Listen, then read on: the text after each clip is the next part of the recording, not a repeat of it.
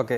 കൊടുത്തോട്ട് പാസ്റ്ററെ മുമ്പേ നമ്മുടെ ഒരു മുസ്ലിം സുഹൃത്ത് ഇവിടെ വന്നിട്ട് ഇതുമായിട്ട് ബന്ധപ്പെട്ട് പുള്ളി രണ്ട് സ്റ്റേറ്റ്മെന്റ് സ്റ്റേറ്റ്മെന്റ് അല്ല പുള്ളി ഒരു ആർഗ്യുമെന്റ് വെച്ച് തന്നെ ചോദിച്ചു കഴിഞ്ഞാൽ ഈ ഇവിടെ ഈ ഈ സിനിമയായിട്ട് ബന്ധപ്പെട്ട് ഇത്രയധികം പെൺകുട്ടികൾ നമ്മുടെ നാട്ടിൽ നിന്ന് പോയിട്ടുണ്ടെങ്കിൽ ഈ പറയുന്ന പെൺകുട്ടികളുടെ വീട്ടിൽ നിന്നൊന്നും രോദനങ്ങൾ വേവലാതികൾ ഉയർന്നു കണ്ടിട്ടില്ലല്ലോ. അങ്ങനെ അത്രയും പെൺകുട്ടികൾ പോയിട്ടുണ്ടായിരുന്നെങ്കിൽ അങ്ങനെ ഒരു കൂട്ടക്കരച്ചിൽ നമ്മൾ കാണുന്നില്ലല്ലോ. അതുകൊണ്ട് ഇതെല്ലാം ക്രിസംഗികൾ പറഞ്ഞു പരത്തുന്ന ഒരു ഇല്ലാ കഥയാണ് എന്ന് പുള്ളി ഒരു വാദം വെച്ചു. രണ്ടാമതൊരു കാര്യം പുള്ളി പറഞ്ഞത് ഇവിടുന്ന് ഷിഹാബ് എന്ന് പറഞ്ഞ ഒരു ചെറുപ്പക്കാരൻ പിന്നെ മക്കയിലോട്ട് നടന്നു പോയപ്പോൾ നിങ്ങൾ കണ്ടതല്ലേ എന്തെല്ലാം കടമ്പകളും റെസ്ട്രിക്ഷൻസും പ്രശ്നങ്ങളും ഉണ്ടായി. അപ്പോൾ ഇവിടുന്ന് നിങ്ങൾ പറയുന്ന പോലെ ഈ ഗവൺമെന്റിന്റെ ബോർഡർ ബോർഡറും അതുപോലെ തന്നെ എമിഗ്രേഷനും ഇതൊക്കെ കഴിഞ്ഞ് എങ്ങനെയാണ് ഇത്രയധികം കുട്ടികൾക്ക് ഈ പറയുന്ന പോലെ അവിടെ ചെന്നെത്താൻ പറ്റുക? ഇവിടെ നിയമമൊക്കെ ഇല്ലേ? അപ്പോൾ അതുകൊണ്ട് നിങ്ങളെല്ലാം ഇത് പടച്ചുവിടുന്ന കഥയാണ്. ഇനി പോയിട്ടുണ്ടെങ്കിൽ തന്നെ അത് ക്രിസ്ത്യൻകളാണ്. ഇങ്ങനെയാണ് പുള്ളി ഒരു സ്റ്റേറ്റ്മെന്റ് ഇവിടെ വെച്ച് പോയത്. അത് വേറെ ആരുമല്ല സഫർ എന്ന് പറഞ്ഞ് വേറൊരു ഐഡിയ വന്നിട്ട് പുള്ളി പെട്ടെന്ന് ഓടിപ്പോയത് അപ്പോൾ പാസ്റ്റർ ഈ ഈ നമ്മുടെ ടോപ്പിക്ക് അഡ്രസ്സ് ചെയ്യുന്ന കൂട്ടത്തിൽ പാസ്റ്റർ ദയവായി ഇതും കൂടെ ഒന്ന് അഡ്രസ്സ് ചെയ്യണമെന്ന് താല്പര്യപ്പെടുന്നു. ഓക്കെ പാസ്റ്ററെ. ആ ഈ മുപ്പത്തി രണ്ടായിരം പേര് ഇങ്ങനെ പോയി എന്ന് ഒരിക്കൽ പോലും നമ്മൾ ആരും അഭിപ്രായപ്പെട്ടിട്ടില്ല. അതെന്തിനാ അങ്ങനെ അഭിപ്രായപ്പെടുന്നത് അപ്പോൾ ഈ മുപ്പത്തിരണ്ടായിരം പേര് നേരെ അഫ്ഗാനിസ്ഥാനിലോ സിറിയയിലോ പോയി എന്ന് പറയുന്നത് നമ്മളല്ല. നമുക്ക് ആ അഭിപ്രായമില്ല. മാത്രമല്ല ആ സിനിമ മുഴുവൻ ഫാക്റ്റ് ആണെന്ന് ആര് പറഞ്ഞു? ആ യാ- അത് യാഥാർത്ഥ്യമാണെന്നും നമുക്ക് അഭിപ്രായമില്ല. അല്ല. അതിൽ പക്ഷെ അതൊരു സമകാലിക സംഭവത്തെ ആ സിനിമ നന്നായി വിശദീകരിക്കുന്നു എന്നുള്ളതാണ്. നമ്മൾ അങ്ങനെ എത്രയോ സംഭവങ്ങൾ കണ്ടു. ഈ എത്രയോ സോഷ്യൽ ഇഷ്യൂസ് ഒരു സിനിമയായോ നോവലായോ വരുമ്പോൾ അതിന്റെ ഹിസ്റ്റോറിക്കൽ ആക്യുറസി പരിശോധിക്കേണ്ട കാര്യമൊന്നുമില്ല. അതിന്റെ ഡേറ്റ കറക്റ്റാണോ ഇതൊന്നും ഒരു വിഷയമല്ല. കാരണം എന്താ?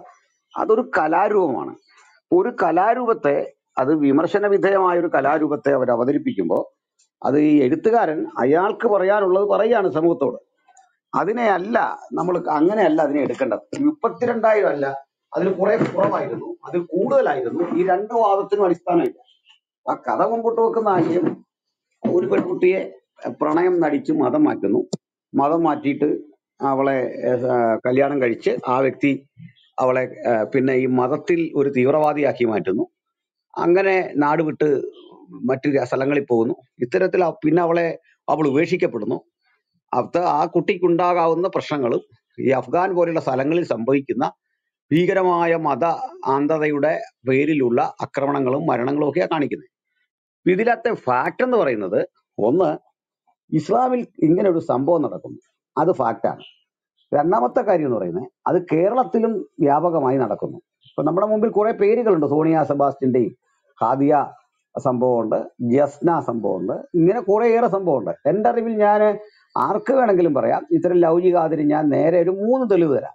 മൂന്ന് തെളിവ് പറയാൻ ഇങ്ങനെ സംഭവിച്ചതിന്റെ ചൂണ്ടിക്കാണിക്കും. തെളിവ് തന്നെ പറയാൻ വേണേ പോയി കണ്ടുപിടിച്ചോണം. അത്രേ ഉള്ളൂ. ആവശ്യമുള്ള ആൾക്കാർ അപ്പൊ ഇന്നടുത്ത് ഇന്ന പോലെ സ്ഥലമുണ്ട്. നിങ്ങൾ പോയി പരിശോധിച്ച് വരാൻ പറഞ്ഞു എന്റെ അറിവിൽ നേരിട്ടുള്ള മൂന്നിടങ്ങൾ മൂന്ന് കേസുകൾ രണ്ടിടത്ത് പോയാൽ മതി. ഒരു വീട്ടിൽ തന്നെ രണ്ട് കേസ്. അതുപോലെ തന്നെ മറ്റൊരു കാര്യം കൂടെ എനിക്ക് നേരിട്ട് അറിവുള്ളത് അറിയാം. ഇനി ഞാൻ കൗൺസിലിംഗ് നടത്തിയതുണ്ട്. ഇങ്ങനെയുള്ള ഇടത്ത് പോയിട്ട് പെട്ടുപോയ കുട്ടികളെ കൗൺസിൽ ഇപ്പോഴും ഒരു മെസ്സേജ് വന്നിട്ടിരിക്കുകയാണ്. ഇത് വ്യാപകമായിട്ട് നടക്കുന്നുണ്ട്. കേവലമായൊരു പ്രണയത്തെ ആരാണ് വിമർശിച്ചിട്ടുള്ളത്? എത്ര പ്രണയം ഇവിടെ നടക്കുന്നു. ആ പ്രണയിച്ച ആൾ പിന്നെ മതം മാറിയിട്ടുമുണ്ട്. അതൊന്നും കൂടെ വിഷയമൊന്നും അല്ലെന്നേ ഒരാളെ ഒരു ക്രിസ്ത്യാനിയെ മുസ്ലിം ഒരു പയ്യൻ കെട്ടി. അവർ കുറെ കഴിഞ്ഞിട്ട് മുസ്ലിം ആയതിൽ എന്ത് പ്രശ്നം? അവരുടെ പ്രണയത്തിൽ ആരെതിര് നിന്നു? വീട്ടുകാരെതിര് നിന്നാണ്? അല്ല മറ്റുള്ളവർക്കൊന്നും അതിൽ ഇൻട്രസ്റ്റ് ഇല്ല. എന്നാൽ ഇത് വ്യാപകമായി ഇങ്ങനെ ചെയ്തിട്ട് ഇവറ്റകളെ നാട് കടത്തുന്നു.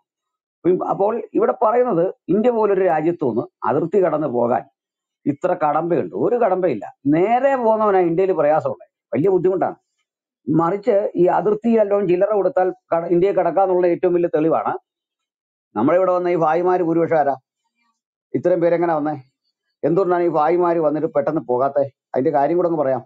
ഈ അതിർത്തി ഉണ്ടല്ലോ. നമ്മുടെ എന്താ പറയുന്നത് മിഡിൽ ഈസ്റ്റ് ഇങ്ങോട്ടൊക്കെ മാറിയുള്ള അതിർത്തി പ്രദേശങ്ങളുണ്ടല്ലോ. അടുത്ത മ്യാൻമാറിൽ നിന്നൊക്കെ ഉള്ള അതിർത്തി. ഈ അതിർത്തിയിൽ കടന്ന് ഇഷ്ടംപോലെ മനുഷ്യക്കടത്ത് നടക്കുന്നുണ്ട്. ഇങ്ങോട്ട് അവിടുന്ന് വരുന്ന ആളുകൾ ഈ വഴിയിൽ നിൽക്കുന്ന കക്ഷികൾക്കും പോലീസിനും അവിടുത്തെ സുരക്ഷാ സംവിധാനത്തെയൊക്കെ വെല്ലുവിളിച്ചുകൊണ്ട് ഇവിടെ വരുന്നു. അപ്പൊ അവിടെ നിൽക്കുന്ന ഉദ്യോഗസ്ഥന് ഒരു ചില്ലറ കൊടുത്താൽ ചില്ലറയല്ല പത്ത് മുപ്പതിനായിരം രൂപ കൊടുക്കണം. അപ്പൊ ആ പൈസ ഒരു പോക്കിൽ ഇത്രയും പൈസ പോകുന്നു എന്നുള്ളതുകൊണ്ടാണ് ഇവർ പെട്ടെന്ന് പോകാത്തത് വർഷങ്ങൾ ഈ രാജ്യത്ത് കിടക്കും. അപ്പൊ എന്നിട്ട് ഈ കരയ്ക്കര വന്നിട്ട് നേരെ ഒരു ഐ ഡി ഉണ്ടാക്കുകയാണ്. ഒരു എന്താ പറയുക മറ്റേ ആധാർ കാർഡ് ഉണ്ടാക്കുകയാണ്. ഇങ്ങനെ വന്ന് കിടക്കുന്ന പാതി എണ്ണം പാതിയിലധികം പേര് ഇന്ത്യക്കാരല്ല. നമുക്കതറിയാലോ മണിപ്പൂരിലെ പ്രശ്നങ്ങളിൽ ഒന്നെന്താ ഈ മെയ്ത്ത് എന്ന് പറയുന്ന കമ്മ്യൂണിറ്റി വാദിക്കുന്ന ഒരു കാര്യം ഇൻഫിൽട്രേഷൻ നടക്കുന്ന കാര്യമായിട്ട്. ഇൻഫിൽട്രേഷൻ എന്ന് പറഞ്ഞാൽ അനധികൃതമായ നുഴഞ്ഞുകയറ്റം. ഈ അനധികൃത നുഴഞ്ഞുകയറ്റത്തിന് ശേഷം ഇവിടെ വന്ന് അവർ ഐ ഡി കാർഡ് ഉണ്ടാക്കുന്നു ഇവിടെ ജീവിക്കുന്നു. അപ്പൊ ഇങ്ങോട്ട് നുഴഞ്ഞു കയറാമെങ്കിൽ ഇവിടെ നുഴഞ്ഞു കട- കടക്കാൻ എന്തോ പാട്? വിശേഷിച്ച് തൊട്ടടുത്ത രാജ്യങ്ങളിലേക്ക് നുഴഞ്ഞു കിടക്കാൻ വലിയ പ്രയാസമൊന്നുമില്ല ഇത്തരം ടീംസിന് ഉദാഹരണം ഇത്തരം ടീംസിന് പാകിസ്ഥാനിൽ കിടക്കാൻ എന്താ പാട്? കാരണം എന്താന്ന് വെച്ചാൽ മതം മാറുന്നു ഇതൊരു ലോബിയാണ് ഇതൊരു ലിങ്കാണ് പാകിസ്ഥാനും ഒക്കെ ആയിട്ട് ബന്ധമുള്ള ഒരു ലിങ്കാണ് അവിടുന്ന് പണം മേടിക്കുന്നു. ഇന്ത്യൻ മണി അവിടെ തന്നെ പണ്ട് അച്ചടിക്കുമായിരുന്നു. ഇങ്ങനെയുള്ള കാര്യങ്ങൾ കൈമാറ്റം ചെയ്യുകയും വാങ്ങുകയൊക്കെ ചെയ്യുന്ന അതിർത്തിയിൽ കടന്ന് അങ്ങോട്ട് പോകാൻ എന്താണ് വിഷമം? അങ്ങനെ പോകാറില്ലേ? അല്ലെങ്കിൽ പറയൂ അങ്ങനെ ഒരു സംഭവം നടക്കാൻ ഭയങ്കര പാടാണ്. അപ്പോൾ ഇവർ പോകുന്ന ചാനൽ വേറെയാണ്. നമ്മൾ ചിന്തിക്കുന്ന വഴിയിലൊന്നും അല്ല പോകുന്നത്. അത്തരം വലിയ സെറ്റപ്പുള്ള നെറ്റ്വർക്കുള്ള നെറ്റ്വർക്ക് ഒരു സംവിധാനമാണത്. അപ്പൊ ഈ സംവിധാനം നമുക്ക് പി എഫ് ഐയുടെ സംവിധാനം അറിയായിരുന്നു മറ്റേ പോപ്പുലർ ഫ്രണ്ട് ഓഫ് ഇന്ത്യയുടെ സംവിധാനം നമുക്കറിയായിരുന്നു അതിനെപ്പറ്റി ഇല്ല എൻ ഐ എത്ര വിവരങ്ങൾ പുറത്തു കൊണ്ടുവന്നു. അപ്പൊ മുപ്പത്തിരണ്ടായിരം പേര് ഇങ്ങനെ ഇദ്ദേഹം പറയുന്ന പോലെ ക്യൂ ആയിട്ട് നിന്ന് ജാഥ പോകുന്നല്ലോ പോയി നിന്ന് ഇവിടെ ആരും പറയുന്നില്ല. സിനിമയിലും അങ്ങനല്ല പറയുന്നത് ഇതൊരു സിനിമ ചിലപ്പോൾ അതിശോക്തി കാണും. കണക്ക് കൂടുതലായിരിക്കാം. പക്ഷെ ഇതൊരു യാഥാർത്ഥ്യമാണ്. വസ്തുത യാഥാർത്ഥ്യമാണ്. ഇങ്ങനെ മതം മാറ്റം നടക്കുന്നു. വ്യാപകമായ വിധത്തിൽ അവർ ദൂരെ അഫ്ഗാനിൽ പോയിട്ട് അല്ലെ സിറിയയിൽ പോയിട്ട് പൊട്ടിത്തെറിക്കാൻ പോകുന്നു. അവരെ മതബോധത്തിന്റെ തീവ്രമായൊരു വികാര തള്ളലിൽ ഈ വിധത്തിൽ കൊണ്ടുപോകുന്നു. എഡ്യൂക്കേറ്റഡ് ആയ കുട്ടികളെ പ്രാകൃതമായ ഈ മതബോധം അടിച്ചേൽപ്പിക്കുന്നു. ഇത് സത്യമാണ്. ഇനി മറ്റൊന്നുകൂടി കേരളം ഇങ്ങനെ ആയത് എത്ര നാളായി? അത് കൃത്യമായിട്ട് നമുക്ക് മനസ്സിലാക്കാൻ പറ്റുന്നത് നമ്മുടെ കൂടെ നമുക്കാർക്കും ഇത്തരം പരാതികൾ ഉണ്ടായിരുന്നോ? ഞാൻ മുസ്ലിം സ്കൂളിൽ പഠിച്ചവനാ. ഒരു വിഷയമില്ല എന്റെ കൂട്ടുകാരെല്ലാം നല്ല മനുഷ്യരാ. മുസ്ലിങ്ങൾ പൊതുവെ ഇത്തരം ആൾക്കാരും ആയിരുന്നില്ല അപ്പൊ എപ്പോഴാ ഇവരിങ്ങനെ ആയതെന്ന് നിങ്ങൾ പഠിച്ചോ? അന്നൊന്നും ഈ എന്താ പറയുന്നത് ദേഹം മുഴുവൻ മൂടിക്കെട്ടിയുള്ള ഈ വസ്ത്രം പെൺപിള്ളേർക്കില്ല നമ്മുടെ പെൺകുട്ടികൾ അങ്ങനെ പോയോ? അങ്ങനെ തന്നെയാണ് മുസ്ലിം കുട്ടികൾ നമ്മുടെ സഹോദരിമാർക്കൊപ്പം നമ്മുടെ കൂട്ടുകാർക്കൊപ്പം ഇരുന്ന് പഠിച്ച ഇതേ രീതിയിലാണ്. നമ്മളെ അവരെയും തിരിച്ചറിയാത്തക്ക വിധം ഏതെങ്കിലും മത അടയാളങ്ങളില്ല. വല്ലവന്റെയും കഴുത്തെ കുരിശി കാണും. അതല്ലാതെ പിള്ളേർക്ക് ഇതുപോലെ എടുത്ത് മുസ്ലിമാണോ ഹിന്ദു ആണോ ക്രിസ്ത്യാനിയാണോ എന്നൊക്കെ അറിയാറില്ല. എല്ലാവരും ചന്ദനം തൂക്കുമായിരുന്നു മിക്കവാറും ആളുകളും. ജാതിമത ഭേദമന്യേ. ഇങ്ങനെയൊക്കെയല്ലേ ക്ലാസ്സിൽ വന്നുകൊണ്ടിരുന്നത് അപ്പൊ ഇത് മാറിയിട്ട് ഇന്ന് മുസ്ലിം ഐഡന്റിഫിക്കേഷൻ വന്നിരിക്കുന്നു. ഈ നീറ്റ് എക്സാം പോലും എഴുതുമ്പോൾ അവിടെ ഇങ്ങനെ മുതച്ച് മൂടി പോകാൻ വേണ്ട സൗകര്യത്തിലേക്ക് കാര്യങ്ങൾ ചെയ്തു കൊടുത്തില്ലേ മതവികാരം എണ്ണപ്പെടുന്നു പറഞ്ഞു. ഇതൊക്കെ പത്ത് ഇരുപത് വർഷം മുമ്പ് ഇവിടെ ഉണ്ടോ ഇത്രയും മതവൽക്കരിച്ചിട്ട് ഇത്രയും വർഷമായുള്ളൂ. സഭ നമ്മളാണ് വർഗീയത പറയുന്നത് പറഞ്ഞിട്ട് ഇവിടെ നല്ല രീതിയിൽ ഇത് പ്രകടിപ്പിക്കുകയാണ്. ആരാ വർഗീയത പ്രകടിപ്പിച്ചേ? വർഗീയതയല്ല ഈ പറയുന്നത് ഇത് പറയാതിരിക്കാൻ തരവില്ല. ഇത് ഇങ്ങനെ ഉണ്ടായത് എന്തുകൊണ്ടാണ്? അപ്പോൾ അതിന്റെ പ്രധാന കാരണം ഈ മുജാഹിദുകൾ എന്നൊക്കെ അറിയപ്പെടുന്ന ഗ്രൂപ്പ് ഇവിടെ തലപൊക്കി അവർ അതിശക്തമായി ഈ മതബോധം അടിച്ചേൽപ്പിച്ചു. ഈ മതബോധം ഒരു മൂല്യത്തിലേക്ക് നയിച്ചിരുന്നെങ്കിൽ പ്രശ്നമില്ല. മറിച്ച് സംഭവിക്കുന്നത് മറ്റൊരു മതം പഠിക്കുന്ന പോലെ അല്ല ഇത്. കാരണം ഇതിൽ പഠിക്കുന്ന മുഴുവൻ രണ്ട് കാര്യങ്ങളാണ്. ഒന്ന് വയലൻസ് രണ്ട് വളരെ വഴിതെറ്റിയ രതി. ഈ രണ്ട് കാര്യങ്ങളാണ് അതിൽ പഠിക്കാനുള്ളത്. ഈ രണ്ട് കാര്യങ്ങൾ പഠിക്ക പഠിക്കേണ്ടി വരുന്നു എന്നത് മനുഷ്യനെ കൊണ്ടെത്തിക്കുന്ന അങ്ങോട്ട അരാജകത്വത്തിലേക്കാണ്. അപ്പൊ മദ്രസകൾക്കൊക്കെ ഇത്രയും പ്രോത്സാഹനം കൊടുത്തൊരു കാലമുണ്ടോ? ഇതുപോലെ ഇപ്പൊ കോടതിക്ക് പോലും ചോദിക്കേണ്ടി വന്നില്ലേ? സർക്കാരിന്റെ ചെലവിൽ വേണോ ഈ മതപഠനം എന്ന് കോടതിക്ക് ചോദിക്കേണ്ടി വന്നിരിക്കുന്നു ഹൈക്കോടതിക്ക്. അപ്പോൾ അവിടെ അനിയന്ത്രിതമായ വിധത്തിൽ പാരിതോഷികങ്ങളും പ്രോത്സാഹനങ്ങളും നൽകി അവരെ രംഗത്ത് കൊണ്ടുവന്നു. അപ്പൊ ഈ മുല്ലാമാർക്ക് മുക്രിമാർക്ക് ഇവർക്കൊക്കെ വലിയ പരിഗണന കിട്ടി. അപ്പൊ ഇവരിന്ന് സമൂഹത്തിൽ ഇവരെ മതം പഠിപ്പിക്കുന്ന കക്ഷികളെ ഇതേ വിധത്തിൽ പ്രൊമോട്ട് ചെയ്തു. നിങ്ങൾക്കറിയണ്ടേ സാക്കിർ നായിക് എന്ന് പറയുന്ന ഒരു ഭീകരൻ അദ്ദേഹം ഇന്ത്യ അന്വേഷിക്കുന്ന ഒരു ഭീകരനാണ്. ഇന്ത്യ വരാൻ പറ്റത്തില്ല. അങ്ങനെയാണ് കേരള യൂണിവേഴ്സിറ്റി ലക്ഷക്കണക്കിന് ഇരുപത്തിമൂന്ന് ലക്ഷം രൂപയോളം ചെലവഴിച്ചുകൊണ്ട് ഒരു പ്രോഗ്രാം നടത്തിയിട്ട് അദ്ദേഹം അവിടെ വന്ന് താമസിച്ച് കേരള യൂണിവേഴ്സിറ്റി ക്ലാസ് എടുക്കുക ഖുറാൻ ക്ലാസ് എടുക്കുക കൂടെയുള്ള എം എം അക്ബറാണ് ഇതുപോലെയൊക്കെയുള്ള കാര്യങ്ങൾ ആ പരിപാടി വി എസ് അച്യുതാനന്ദനുണ്ട് വി എസ് അച്യുതാനന്ദൻ മുഖ്യമന്ത്രിയാണ് അന്ന്. ആ കൂടെ നമ്മുടെ ഉമ്മൻചാണ്ടി സാറാണ് അതിലെ പ്രധാനപ്പെട്ട അതിഥി. ഇങ്ങനെ പ്രോഗ്രാമുകളിലൂടെ നടക്കുക. അപ്പൊ ഈ രൂപത്തിലേക്ക് കൂടുതൽ മതവൽക്കരിക്കപ്പെട്ടപ്പോൾ ആ മതം പഠിക്ക വഴി അത് തീവ്രവാദമാണ് മറ്റുള്ളവനെ കൊല്ലാനാണ് ഹിന്ദിനെ ആക്രമിക്കുന്നവർക്ക് സ്വർഗം കിട്ടുമെന്ന് പഠിപ്പിക്കുകയാണ്. ഈ രൂപത്തിൽ കാര്യങ്ങൾ പഠിപ്പിക്കുന്നു. ക്ലാസ്സിൽ പഠിക്കുന്ന കൊച്ചിനെ രണ്ടാം ക്ലാസ്സിൽ പഠിക്കുന്നവനോട് മതപരിവർത്തനത്തിന്റെ രീതി പഠിപ്പിക്കുക അക്ബർ സാഹിബിന്റെ പി സ്കൂളിൽ മനസ്സിലാക്കണം. ഈ രൂപത്തിൽ കാര്യങ്ങൾ പോയപ്പോൾ നമ്മുടെ കൺമുമ്പിൽ കുട്ടികൾ കാണാതെ പോയി. ഈ കാണാതെ പോയി എന്ത് എന്ത് രഹസ്യം പുറത്തുവിടാത്ത? സൈമൺ എന്ന് പറയുന്ന നമ്മുടെ പഴയ ഡിവൈഎസ്പി പത്തനംതിട്ട ഡിവൈഎസ്പിക്ക് എന്തുകൊണ്ട് ജസ്ന പുറത്തു പോയി എന്നുള്ളതിന്റെ കാര്യം ഡീറ്റെയിൽ പറയാൻ പറ്റുന്നില്ല പൊതുസമൂഹത്തിൽ അപ്പൊ ഇത് ഒരു പൊതു പ്രശ്നമാണ് മാത്രമല്ല ഈ സിനിമയിൽ പറയുന്നത് കേരളം തീവ്രവാദികളുടെ ഒരു ഹബ്ബാണ് എന്ന രൂപത്തിൽ സംസാരിക്കുന്നുണ്ട്. അത് കേരള സ്റ്റോറി എന്ന് പറയുന്നു. അപ്പൊ ഇത് കേരളീയന് മുഴുവൻ അപമാനമാണെന്ന രൂപത്തിലേക്കാണ് കാര്യങ്ങൾ പറഞ്ഞത് അപ്പൊ കേരളീയന് മുഴുവൻ അപമാനമല്ലേ ഇത്? അഭിമാനിക്കാൻ പറ്റുള്ള കാര്യമാണോ? അത് അപമാനം തന്നെയാണ്. അന്തർദേശീയ വേദികളിൽ കൂടുതലായിട്ട് നമ്മൾ അപമാനിക്കപ്പെടുന്നത് ഇത്തരത്തിൽ വിദ്യാഭ്യാസമുള്ള ഒരു സോണിൽ ഒരു മേഖലയിൽ ഇങ്ങനെയുള്ള അഴിഞ്ഞാട്ടം നടക്കുന്നു. മനുഷ്യനെ വീണ്ടും പ്രാകൃതമായ അറബി ഗോത്രവർഗ വ്യവസ്ഥിതിയിലേക്ക് മനുഷ്യനെ തിരിച്ചു കൊണ്ടുപോകുന്ന ഒരു പ്രവണത വരുന്നു. ഈ പ്രവണത ഇത്തരത്തിൽ തീവ്ര ഇസ്ലാമിക സംഘടനകൾ ജമാഅത്ത് ഇസ്ലാമി പോപ്പുലർ ഫ്രണ്ട് മുജാഹിദ് സംഘടനകൾ ഒക്കെ തലപൊക്കിയ ശേഷമാണ് ഇവിടെ ഈ പ്രശ്നം ഉണ്ടായത് ഇത് വി എസ് എച്ച് പറയാത്ത ഒരു കള്ളവുമില്ല അത് കൃത്യമാണ്. എത്ര എത്ര തെളിവുകളുണ്ട്? അത് തന്നെയല്ലേ ബാലുശ്ശേരി പറയുന്നത്. ഈ ഇരുപത് വർഷം കൊണ്ട് പത്ത് വർഷം കൊണ്ട് കേരളത്തെ ഒരു ഇസ്ലാമിക രാജ്യമാക്കി തരാം. ഇത് തന്നെയല്ലേ ഫസൽ ഗഫൂർ ഇവരെ വേദിയിൽ പ്രസംഗിച്ച കാര്യം നമ്മൾ കണ്ടല്ലേ? അത് പോപ്പുലർ ഫ്രണ്ട് അതിന് നേതൃത്വം കൊടുക്കണം. ഇപ്പൊ ഈ ഇതേ ഫസൽ ഗഫൂർ ഇതേ പറ്റിയൊക്കെ ഒത്തിരി കാര്യം പിന്നീട് പറയുന്നുണ്ട്. ഞാനത് മറ്റൊരു ഘട്ടത്തിൽ പറയാം. കാരണം ഈ പാർലമെന്റ് ഇലക്ഷനുമായിട്ട് ബന്ധപ്പെട്ട് ഇവരൊക്കെ ഒത്തിരി തലപൊക്കാൻ സാധ്യതയാണ്. അപ്പൊ ചില മോഹങ്ങളോടുകൂടി കഴിയുന്ന നേതാക്കന്മാർ ഇതിനകത്തുണ്ട്. എന്താ പറയാ സീറ്റ് മോഹികളായ ആളുകൾ ഈ രൂപത്തിലൊക്കെ കിടപ്പുണ്ട്. ആ സമയം വരുമ്പോൾ നമുക്കല്ലേ കാണാം. അപ്പൊ പറഞ്ഞത് കേരളത്തിൽ ഇത്തരത്തിലുള്ള സംഭവങ്ങൾ നടക്കുന്നുണ്ട്. വാഗമൺ ഇവിടുന്നല്ലേ മറ്റേ തടിയന്റെ അവിടെ നസീർ ഒക്കെ അവിടെ പോയിട്ട് ഈ പരിശീലനം നടത്തി എന്നുള്ളത് നമ്മളാരും പറഞ്ഞല്ലോ എത്ര അടുത്ത് ഇങ്ങനെയുള്ള കാര്യങ്ങൾ കാണാം? അപ്പൊ ഇങ്ങനെയുള്ള സ്ഥലങ്ങളിൽ ഈ പ്രദേശങ്ങൾ കേന്ദ്രീകരിച്ച് തീവ്രവാദം തലവെക്കുന്നുണ്ട്. ഈ ആലപ്പുഴയുടെ തെരുവീതിയിലൂടെയല്ലേ ഒരു കൊച്ചി ഇറക്കം പറഞ്ഞുകൊണ്ട് പോയത്? ഇതും തീവ്രവാദമല്ലേ? സിനിമ കേവലം പ്രണയം മാത്രമല്ല കൈകാര്യം ചെയ്യുന്നത്. മതത്തിന്റെ ഇത്തരത്തിലെ വഴിവിട്ട ബന്ധങ്ങളെ പറ്റി രണ്ടാമതായിട്ട് അതിന്റെ വയലൻസിനെ പറ്റി പറയുന്നുണ്ട്. ഇത് രണ്ടും വസ്തുതാപരമാണ്. പക്ഷെ അതിൽ ഡേറ്റ് എടുക്കുമ്പോൾ മുപ്പത്തിരണ്ട് നാൽപ്പത്തിരണ്ട് എന്നുള്ളൊരു കണക്കിനകത്തൊന്നും അർത്ഥമില്ല. അത് അതിശോക്തിപരമാകാം പക്ഷേ സംഭവം നേരാണെന്നുള്ള കാര്യത്തിൽ ആർക്കാണ് തർക്കം? ഒരു തർക്കവും അക്കാര്യത്തിൽ ഉണ്ടാകേണ്ട കാര്യമില്ല. ഇതേക്കുറിച്ചാണ് ചർച്ച ചെയ്യേണ്ടത്.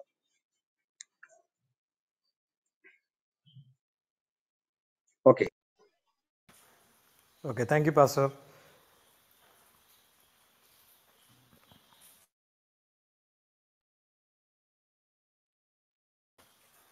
Thank you, Pastor. Pastor ഞാൻ ആ സിനിമ ഇന്ന് കണ്ടു അനേക കാര്യങ്ങൾ നമ്മളൊക്കെ അറിഞ്ഞ കാര്യങ്ങളൊക്കെ തന്നെയാണ് അതിൽ കാണിച്ചിരിക്കുന്നത് എന്നിരുന്നാലും ഈ സിനിമ ഇത് കേരളത്തിന് അപമാനം ഉണ്ടാക്കും ഉണ്ടാക്കും എന്നൊക്കെ പറയുന്നത് പാസ്റ്റർ പറഞ്ഞതുപോലെ തന്നെ കേരളത്തിന്റെ ഒരു വളരെ പ്രത്യേക ഒരു ഒരു സ്വഭാവമാണ് മലദ്വാർ ഗോൾഡ്. സ്വർണം കടത്താൻ ശരീരത്തിന്റെ ഒരു പ്രത്യേക ഭാഗം ഉപയോഗിക്കുക എന്നുള്ളത്. ഇങ്ങനെ ലോകത്ത് എവിടെയെങ്കിലും കേട്ടിട്ടുണ്ടോ? ഈ കേരളത്തിന് ലജ്ജയുണ്ടാകും മാനക്കേട് ഉണ്ടാകും എന്ന് പറയുന്ന സുഹൃത്തുക്കളോടാണ് ഞാൻ ചോദിക്കുന്നത്. ഇങ്ങനെ ഇത്രയ്ക്ക് വൃത്തികെട്ട രീതിയിൽ സ്വർണം കടത്തുക എന്ന് പറഞ്ഞാൽ ഇത് ഇത് നാലുപേരോട് പറയാൻ കൊള്ളാവുന്ന കാര്യമാണോ? അല്ല ഇത് ഒറ്റപ്പെട്ട സംഭവമാണോ? ഇത്രയ്ക്ക് വൃത്തികെട്ട രീതിയിൽ സ്വർണം കടത്തിക്കൊണ്ട് വരുന്നത് ഒരു പ്രത്യേക സമുദായത്തിന്റെ അവകാശം പോലെയല്ലേ അവർ ചെയ്യുന്നത്? അവരുടെ എന്താ പറയാ കുത്തകയല്ലേ അത്? ഒരു പ്രത്യേക സമുദായത്തിന്റെ കുത്തകയായിട്ടല്ലേ ഈ പ്രത്യേക ഭാഗത്ത് സ്വർണം കടത്തിക്കൊണ്ട് വരുന്നത്? ഇതുകൊണ്ട് അവർക്ക് ഒരു നാണക്കേട് ഇതുവരെ തോന്നിയിട്ടില്ലേ? ഈ രണ്ട് മൂന്ന്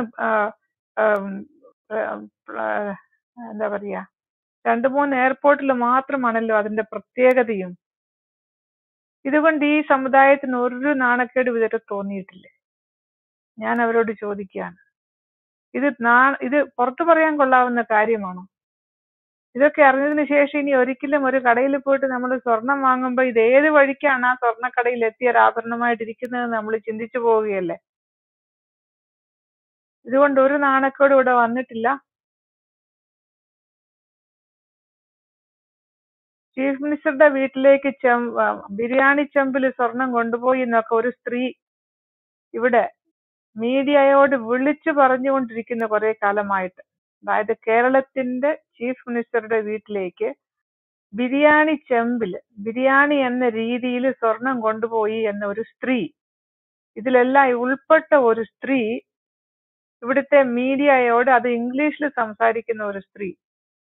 ഇന്ത്യയിലെ മാത്രമല്ല സോറി ഇന്ത്യയിലെ എല്ലാ മീഡിയയോടും അവർ വിളിച്ചു പറഞ്ഞുകൊണ്ടിരിക്കുകയാണ്. ഈ ഈ ഇങ്ങനെ ഒരു സ്ത്രീ പറഞ്ഞിട്ട് ആ സ്ത്രീക്കെതിരെ ഒരു കേസ് എങ്കിലും ഇതിനെതിരായിട്ട് ഫയൽ ചെയ്യുകയോ ഇതൊരു മാനക്കേടായിട്ട് ഇവിടുത്തെ ചീഫ് മിനിസ്റ്റർക്ക് തോന്നിയിട്ടില്ല ഇതുവരെ? ഒന്ന് ആലോചിച്ച് നോക്ക്. ബിരിയാണി ചെമ്പിൽ സ്വർണം കൊണ്ടുപോയി. ഇതിനേക്കാളും വലിയൊരു മാനക്കേട് ഒരു ചീഫ് മിനിസ്റ്റർക്ക് വരാനുണ്ടോ? ഒരു സ്ത്രീ പറഞ്ഞതിനെതിരെ ഒരു ആക്ഷൻ പോലും എടുക്കാൻ കഴിയാത്തത് അതൊക്കെ അപ്പോ സത്യമാണെന്നല്ലേ നമ്മൾ വിചാരിക്കേണ്ടി വരിക? അപ്പൊ ഞാൻ പറയുന്നത് ഈ സിനിമ മാനക്കേടാണെന്നൊക്കെ ഇവർ പറയുന്നത്. ഈ ഈ സിനിമയെ എതിർക്കുന്ന ഓരോ വ്യക്തി ഞാനിത് മുമ്പും പറഞ്ഞു. ഈ സിനിമയെ എതിർക്കുന്ന ഓരോ വ്യക്തിയും ഒന്നുകിൽ അവർ ജിഹാദികളുടെ പോക്കറ്റിലാണ് ജിഹാദികൾ അവരുടെ പോക്കറ്റ് നിറച്ചിരിക്കുകയാണ്. ജിഹാദികൾ അവരുടെ പോക്കറ്റ് നിറച്ചിരിക്കുകയാണ് അല്ലെങ്കിൽ അവർ ജിഹാദികളുടെ പോക്കറ്റിലാണ്. ഈ രണ്ട് സ്ഥലങ്ങളിലല്ലാതെ അവർ വേറൊരിടത്തുമല്ല. ഈ സിനിമയെ ആരെതിർത്താലും അവർ ഐസിസിനെ പിന്താങ്ങുന്നു ഐസിസിനെ പ്രൊമോട്ട് ചെയ്യുന്നു. ഐസിസിന്റെ രഹസ്യങ്ങൾ ഇവിടെയുള്ള നമ്മൾ അറിഞ്ഞു പോകും. ഇവരുടെ എന്താണ് പറയുക മോഡസ് പ്ലാന്റി ഇവരുടെ അവരുടെ ഈ ഇവരുടെ പ്രവർത്തന രീതി മനുഷ്യർക്ക് കുട്ടികൾക്ക് മനസ്സിലാകും. ഇത് കണ്ടു കഴിഞ്ഞാൽ ഇനി ഏതെങ്കിലും ഒരു കൂടെ പഠിക്കുന്ന കുട്ടി സ്കൂളിലോ കോളേജിലോ ജോലി സ്ഥലത്തോ ഈ സിനിമ കണ്ടതിന് ശേഷം ഒരു പെൺകുട്ടി അല്ലെങ്കിൽ ഒരു ആൺകുട്ടി ഒരു മുസ്ലിം സുഹൃത്ത് നീ ആരെയാണ് ആരാധിക്കുന്നത്? നിന്റെ ദൈവം കുരിശിൽ തൂങ്ങി കടന്നിട്ട് ആ കുരിശിൽ തൂങ്ങിയ ആളെ രക്ഷിക്കാൻ കഴിയാത്തവനാണോ എന്റെ ദൈവം എന്നൊക്കെ ചോദിക്കുമ്പോൾ ആ കുട്ടിക്ക് പെട്ടെന്ന് ബോധം വരും അല്ലെങ്കിൽ ബോധ്യം വരണം ഇതാ എന്നെ ഇവിടെ ട്രാപ്പ് ചെയ്യപ്പെടുകയാണ്. ഈ ഒരൊറ്റ കാര്യം കൊണ്ടാണ് അവർ ഇതിനെ എതിർക്കുന്നത്. ഇവരുടെ മോഡേഴ്സ് ഒപ്പഴാണ്ടി ഒക്കെ പുറത്തു വരുന്നു അതൊക്കെ മനുഷ്യർക്ക് മനസ്സിലാകുന്നു. എങ്ങനെയാണ് ഈ ഡ്രഗിലേക്ക് ഇൻഡ്യൂസ് ചെയ്യപ്പെടുന്നത്? എങ്ങനെയാണ് തലയിൽ തട്ടമിടാനായിട്ടുള്ള ഇത് ഉള്ള ഇത് ഒരു ഒരു രീതിയിലേക്ക് കുഞ്ഞുങ്ങൾ പോകുന്നത്? ഇതെല്ലാം വിധ പച്ചയ്ക്ക് അവർ കാണിക്കുന്നു. അപ്പൊ ഈ ചിലന്തി പെൺചിലന്തികളുടെ റോൾ വളരെ ക്ലിയർ ആയിട്ട് കാണിക്കുന്നത് കൊണ്ട് അവരുടെ മതം നിന്ന അപ്പനെ അപ്പന്റെ തലയിൽ തുപ്പാൻ പറഞ്ഞിട്ട് ആ പോയി ആ കുട്ടിയെ കൊണ്ട് ചെയ്യിക്കുന്ന ആ മെത്തഡോളജി അപ്പൊ ഇതൊക്കെ കുഞ്ഞുങ്ങൾ മനസ്സിലാക്കുകയും ഇനിയെങ്കിലും ഇനി കേരളത്തിൽ നിന്ന് ഈ സിനിമ വന്നതിന് ശേഷം കുറെ പേരെങ്കിലും ചാടിപ്പോകാൻ നിൽക്കുന്നവര് ചിന്തിക്കുമെന്നുള്ള ഒരു പ്രാർത്ഥനയോടെ ഞാൻ എന്റെ വാക്കുകളെ ചുരുക്കുകയാണ്. Thank you. മോഡറേറ്ററെ എനിക്കൊന്ന് സംസാരിക്കാവോ? ആരായിരുന്നു? Stanley ya. ആ സംസാരിച്ചു ബ്രോ ഞാൻ രണ്ടായിരത്തി ഏഴ് രണ്ടായിരത്തി ഒമ്പതിൽ സീറോ മലബാർ ജാഗ്രതാ കമ്മീഷന്റെ റിസർച്ചിൽ എക്സ്റ്റേണൽ ആയിട്ട് പങ്കാളിയായിട്ടുള്ള ആളാണ്. രണ്ട് ടൈമിലും റിസർച്ചിൽ പങ്കാളി ആയിട്ടുള്ള ആളാണ്. അന്ന് തന്നെ ഞങ്ങൾ ഈ പറഞ്ഞ ഈ സിനിമ ഇതിന്റെ ആയിരത്തിലിരട്ടി ക്രൂരതയോടെ ഉള്ള കാര്യങ്ങളാണ് നടക്കുന്നതെന്ന് കണ്ടുപിടിക്കുകയും റിപ്പോർട്ട് ചെയ്യുകയും ചെയ്തിട്ടുള്ളതാണ്. പക്ഷെങ്കിൽ അതിനുശേഷം രണ്ടായിരത്തി പതിനൊന്നിൽ ഉമ്മൻചാണ്ടി അധികാരത്തിൽ വന്നതിന് ശേഷവും പല കാര്യങ്ങളും ഇത് പുറത്തു കൊണ്ടുവരാൻ വേണ്ടി ശ്രമിച്ചതാണ്. പക്ഷെങ്കിൽ ഭയങ്കര ഭീഷണിയായിരുന്നു പല രംഗത്തു നിന്നും. സ്റ്റേറ്റിൽ നിന്ന് എൽ ഡി എഫിന്റെയും യു ഡി എഫിന്റെയും ഭീഷണി ഭരിക്കുന്നത് യു പി ആണ് ഡൽഹിയിൽ അവരുടെ ഭീഷണി. ആ, അപ്പൊ ഇപ്പം എൻവയറമെന്റ് മാറിയത് കൊണ്ടാണ് ഇങ്ങനെയുള്ള സത്യങ്ങൾ ഇപ്പൊ പുറത്തു കൊണ്ടിരുന്നത്. കൃത്യമായിട്ട് അതിനൊരു കൃത്യമായ രാഷ്ട്രീയ പിന്തുണ ഉള്ളത് കൊണ്ടാണ്. എന്നിട്ട് പോലും ഇത് തമിഴ്നാട്ടിലും കർണാടകത്തിലും നിരോധിച്ചു. ഇന്ത്യയുടെ ഇന്ത്യയുടെ ഭരണഘടനയ്ക്ക് വിരുദ്ധമായിട്ട്. ഇതിൽ സത്യമായിട്ട് പറയുകയാണെങ്കിൽ ഈ നിമ മാത്യൂസ് എന്ന് പറയുന്ന അതിന്റെ അകത്തെ കഥാപാത്രം അവർ അനുഭവിച്ചതിന്റെ ആയിരത്തിലൊന്ന് പോലും ചിത്രീകരിച്ചിട്ടില്ല. അത്രയ്ക്ക് ക്രൂരതയാണ് അതുപോലെ ആയിരക്കണക്കിന് ക്രിസ്ത്യൻ പെൺകുട്ടികളോട് കേരളത്തിലും മറ്റു സ്ഥലത്തും നടന്നിരിക്കുന്നത്. ഇത് പലരും പലരും നമ്മളോട് ചോദിക്കാറുണ്ട് ഡിസ്കഷനിൽ എന്തുകൊണ്ട് ഇത് പേര് പറയുന്നില്ല? അല്ലെങ്കിൽ അതിന്റെ ലിസ്റ്റ് സഭയ്ക്ക് നമ്പറുകൾ മാത്രമേ ഉള്ളൂ പേരില്ല. സഭയ്ക്ക് പേര് പറയാൻ പറ്റത്തില്ല. കാരണം കുംഭസാരത്തിൽ കൂടിയും രഹസ്യത്തിലായിട്ടുമായിട്ട് പക്ഷെ സഭ കേഡറാണ്. സഭ ഒരു ഇടവകയിൽ എത്ര പേര് പോയിട്ടുണ്ട്? എന്തൊക്കെ നടന്നിട്ടുണ്ടെന്ന് കൃത്യമായ ഇൻഫർമേഷൻ സഭയ്ക്കുണ്ട്. പലതും അത് പേര് പറയാൻ പറ്റത്തില്ല. ഇന്ത്യയുടെ നിയമവും പേര് പറയാൻ അനുവദിക്കുന്നില്ല. വിക്ടിമിന്റെ പേര് പറയാനോ അത് പറയാനോ അവർ സമ്മതിക്കാതെ അത് അനുവദിക്കുന്നില്ല അയ്യായിരം പേരുള്ളതിൽ നമ്മൾ അന്ന് ഒരു എഫ് ഐ ആർ ഇടിപ്പിക്കാൻ നോക്കിയിട്ട് ഒരു പേരന്റും സാറേ കൊച്ചു പോയി. ഇനി കുടുംബത്തിന് നാണക്കേടാ. തിരിച്ചു വന്നുകൊണ്ട് അതിനെ ചപ്പി ചവച്ചേ കിട്ടത്തുള്ളൂ. ഇനി ഞങ്ങൾ എന്ത് ചെയ്യാനാണ്? ഞങ്ങളുടെ കൊച്ചു പോയി അതിനെ ദൈവം തന്നു ദൈവം എടുത്തു.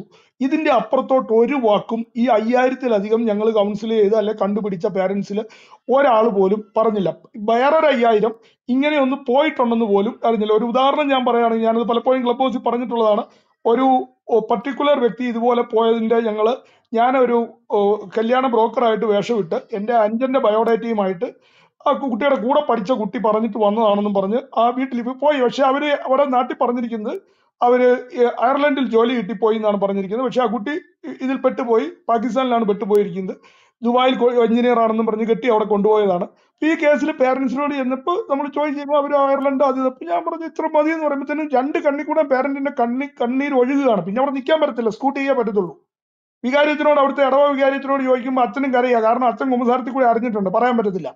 അപ്പൊ ഇതാണ് സിറ്റുവേഷൻ ഇത് ഇത് നമ്മൾ പറഞ്ഞു ഇപ്പോഴെങ്കിലും നമ്മളൊക്കെ നടത്തിയ റിസർച്ചിന് രണ്ടായിരത്തി ഏഴ് രണ്ടായിരത്തി ഒമ്പതിൽ നടത്തിയ റിസർച്ചിന് സഭ അംഗീകാരം നൽകി രാഷ്ട്രം അംഗീകാരം നൽകി ഇപ്പൊ സിനിമ അംഗീകാരം നൽകി. പക്ഷെ ഇപ്പോഴും ഇപ്പോഴും ഞാൻ ഈ പറയുന്നത് ഇപ്പോഴും കേരളത്തിലെ നമ്മുടെ കൂടെയുള്ള പത്ത് കേരള കോൺഗ്രസ് ഗ്രൂപ്പുകൾ ഇന്ന് രാത്രിയിലും കിടക്കുന്നത് ജിഗാദിയുടെ കൂടെയാണ്. തുപ്പൽ ബിരിയാണിയിൽ നിന്ന് അവൻ കിടക്കുകയാണ്.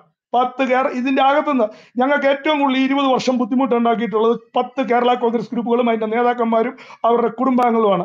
നമ്മുടെ സമൂഹം ബ്രദറെ നമുക്ക് പൊളിറ്റിക്കലായിട്ട് പോകണ്ട. നമ്മുടെ അത് കേരള കോൺഗ്രസ് ഒന്നുമല്ല. ഞാൻ ഞാൻ കേരള കോൺഗ്രസ് അല്ല. മ്യൂട്ട് ചെയ്തേ മ്യൂട്ട് ചെയ്തേ മ്യൂട്ട് ചെയ്തേ മ്യൂട്ട് ചെയ്തേ. താങ്കൾ മ്യൂട്ട് ചെയ്തേ. മ്യൂട്ട് ചെയ്യൂ. ഞാൻ കേരള കോൺഗ്രസ് അല്ല. ഇവിടെ ഇരിക്കുന്ന ആൾക്കാർ ആരും കേരള കോൺഗ്രസോ അങ്ങനെ പാർട്ടികളൊക്കെ ഉണ്ടായിരിക്കും പക്ഷേ ഞങ്ങൾ അങ്ങനെ അല്ല ഈ റൂം കൊണ്ടുവന്നത്. അതുകൊണ്ട് പൊളിറ്റിക്കലായിട്ട് പോകരുത്. എന്റെ ഒരു റിക്വസ്റ്റാണ് താങ്കൾ നമ്മുടെ ഈ വിഷയത്തിൽ നിന്ന് പൊതുവായ രീതിയിൽ സംസാരിച്ച് പോവുക. അല്ലാതെ നമുക്ക് പൊളിറ്റിക്കലായിട്ട് പോകാനായിട്ട് ഞങ്ങൾക്ക് താല്പര്യമില്ല. അങ്ങനെ ഉണ്ടെങ്കിൽ താങ്കൾ താഴോട്ട് മൂവ് ചെയ്യുക. സ്വയം മൂവ് ചെയ്യുക. താങ്ക് യു അല്ല ഞാനിത് പറയട്ടെ. അതായത് ഇതിൽ ഇതിൽ കൃത്യമായിട്ട് ഇത് തടയാനുള്ളത് ഇപ്പൊ ഇവിടെ ലീ സിസ്റ്റർ പറഞ്ഞു. ഇവിടെ കൃത്യമായിട്ട് നമ്മുടെ സമൂഹത്തിൽ നമ്മുടെ ക്രിസ്ത്യൻ സമൂഹത്തിൽ ആരൊക്കെയാണ് വർണനബിൾ ആരെയൊക്കെയാണ് ടാർഗറ്റ് ചെയ്യാൻ പറ്റുന്നത്? ആരുടെയൊക്കെ ഡാറ്റയാണ് എടുത്തു കൊടുക്കാൻ പറ്റുന്നത്? ഇത് പോകുന്നതിന്റെ അകത്ത് കൃത്യമായ ഒരു ഇൻസൈഡർ സബോട്ടേജ് ഉണ്ട്.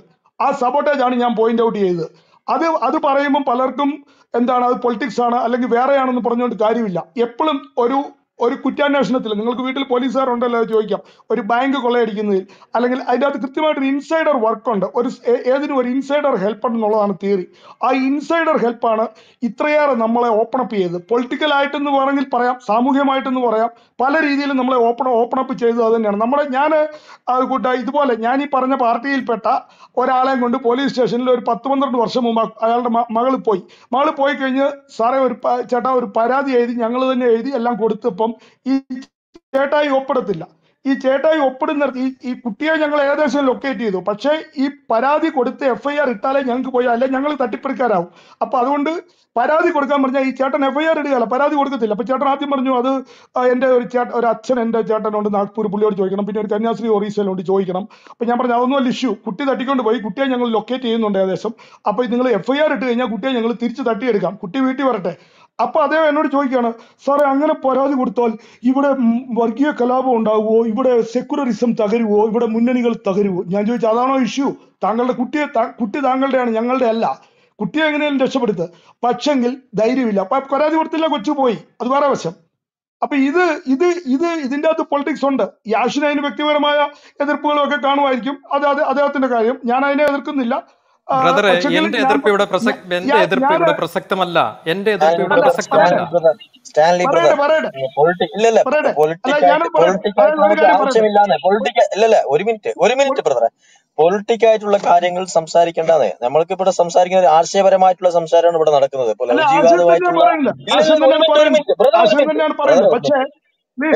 ബ്രദറെ ഒരു മിനിറ്റ്. ഒരു മിനിറ്റ്. നമ്മൾ ഇപ്പൊ രാഷ്ട്രീയമായിട്ട് എടുക്കുകയാണെങ്കിൽ പല കാര്യങ്ങളിലേക്ക് നമ്മൾ പോകേണ്ടി വരും. അതുകൊണ്ട് നമ്മൾ അങ്ങോട്ടൊന്നും പോകണ്ട. രാഷ്ട്രീയപരമായിട്ട് ഇവിടെ ആർക്കും രാഷ്ട്രീയം ഇല്ല. നമ്മൾ ആശയപരമായിട്ടാണ് എതിർക്കുന്നത്. അല്ലാതെ ഒരു മുസ്ലിം സമുദായത്തിനെ മൊത്തമായിട്ട് നമ്മൾ എതിർക്കുന്നില്ല. മുസ്ലിങ്ങൾ നമുക്ക് കാണാം അപ്പൊ ഞാനൊരു മുസ്ലിം സമുദായത്തിൽ നിന്നാണ് രക്ഷിക്കപ്പെട്ടിരിക്കുന്നത്. അതേ എല്ലാവരും ആ സത്യദൈവത്തിനെ അറിയണമെന്നാണ് ഇവിടെ ആഗ്രഹം. അതുകൊണ്ട് ലൗചികാത് എന്താണെന്ന് അവന്റെ പൊള്ളത്തരങ്ങൾ എന്താണെന്നാണ് ഇവിടെ തുറന്നു കാണിക്കുന്നത്. രാഷ്ട്രീയപരമായിട്ട് നമ്മൾ ഒരിക്കലും എടുക്കില്ല. നമ്മൾക്ക് എതിരായിട്ട് എത്രയോ സിനിമ എടുത്തിട്ടുണ്ട്. എത്രയോ സിനിമ ക്രിസ്ത്യൻക്ക് വിരോധമായിട്ട് എടുത്തിട്ടുണ്ട്. ഇപ്പൊ തിയേറ്ററിൽ കഴിഞ്ഞ ഒരു മൂന്ന് വർഷം നാല് വർഷം മുമ്പ് ഓടിയിട്ട് തമിഴ്നാട്ടിൽ തമിഴ് സിനിമ എടുത്തിട്ടുണ്ട്. അതിനൊന്നും ഇവിടെ ആരും ഒരു ക്രിസ്ത്യനും പോയി വായി തുറന്നിട്ടില്ല.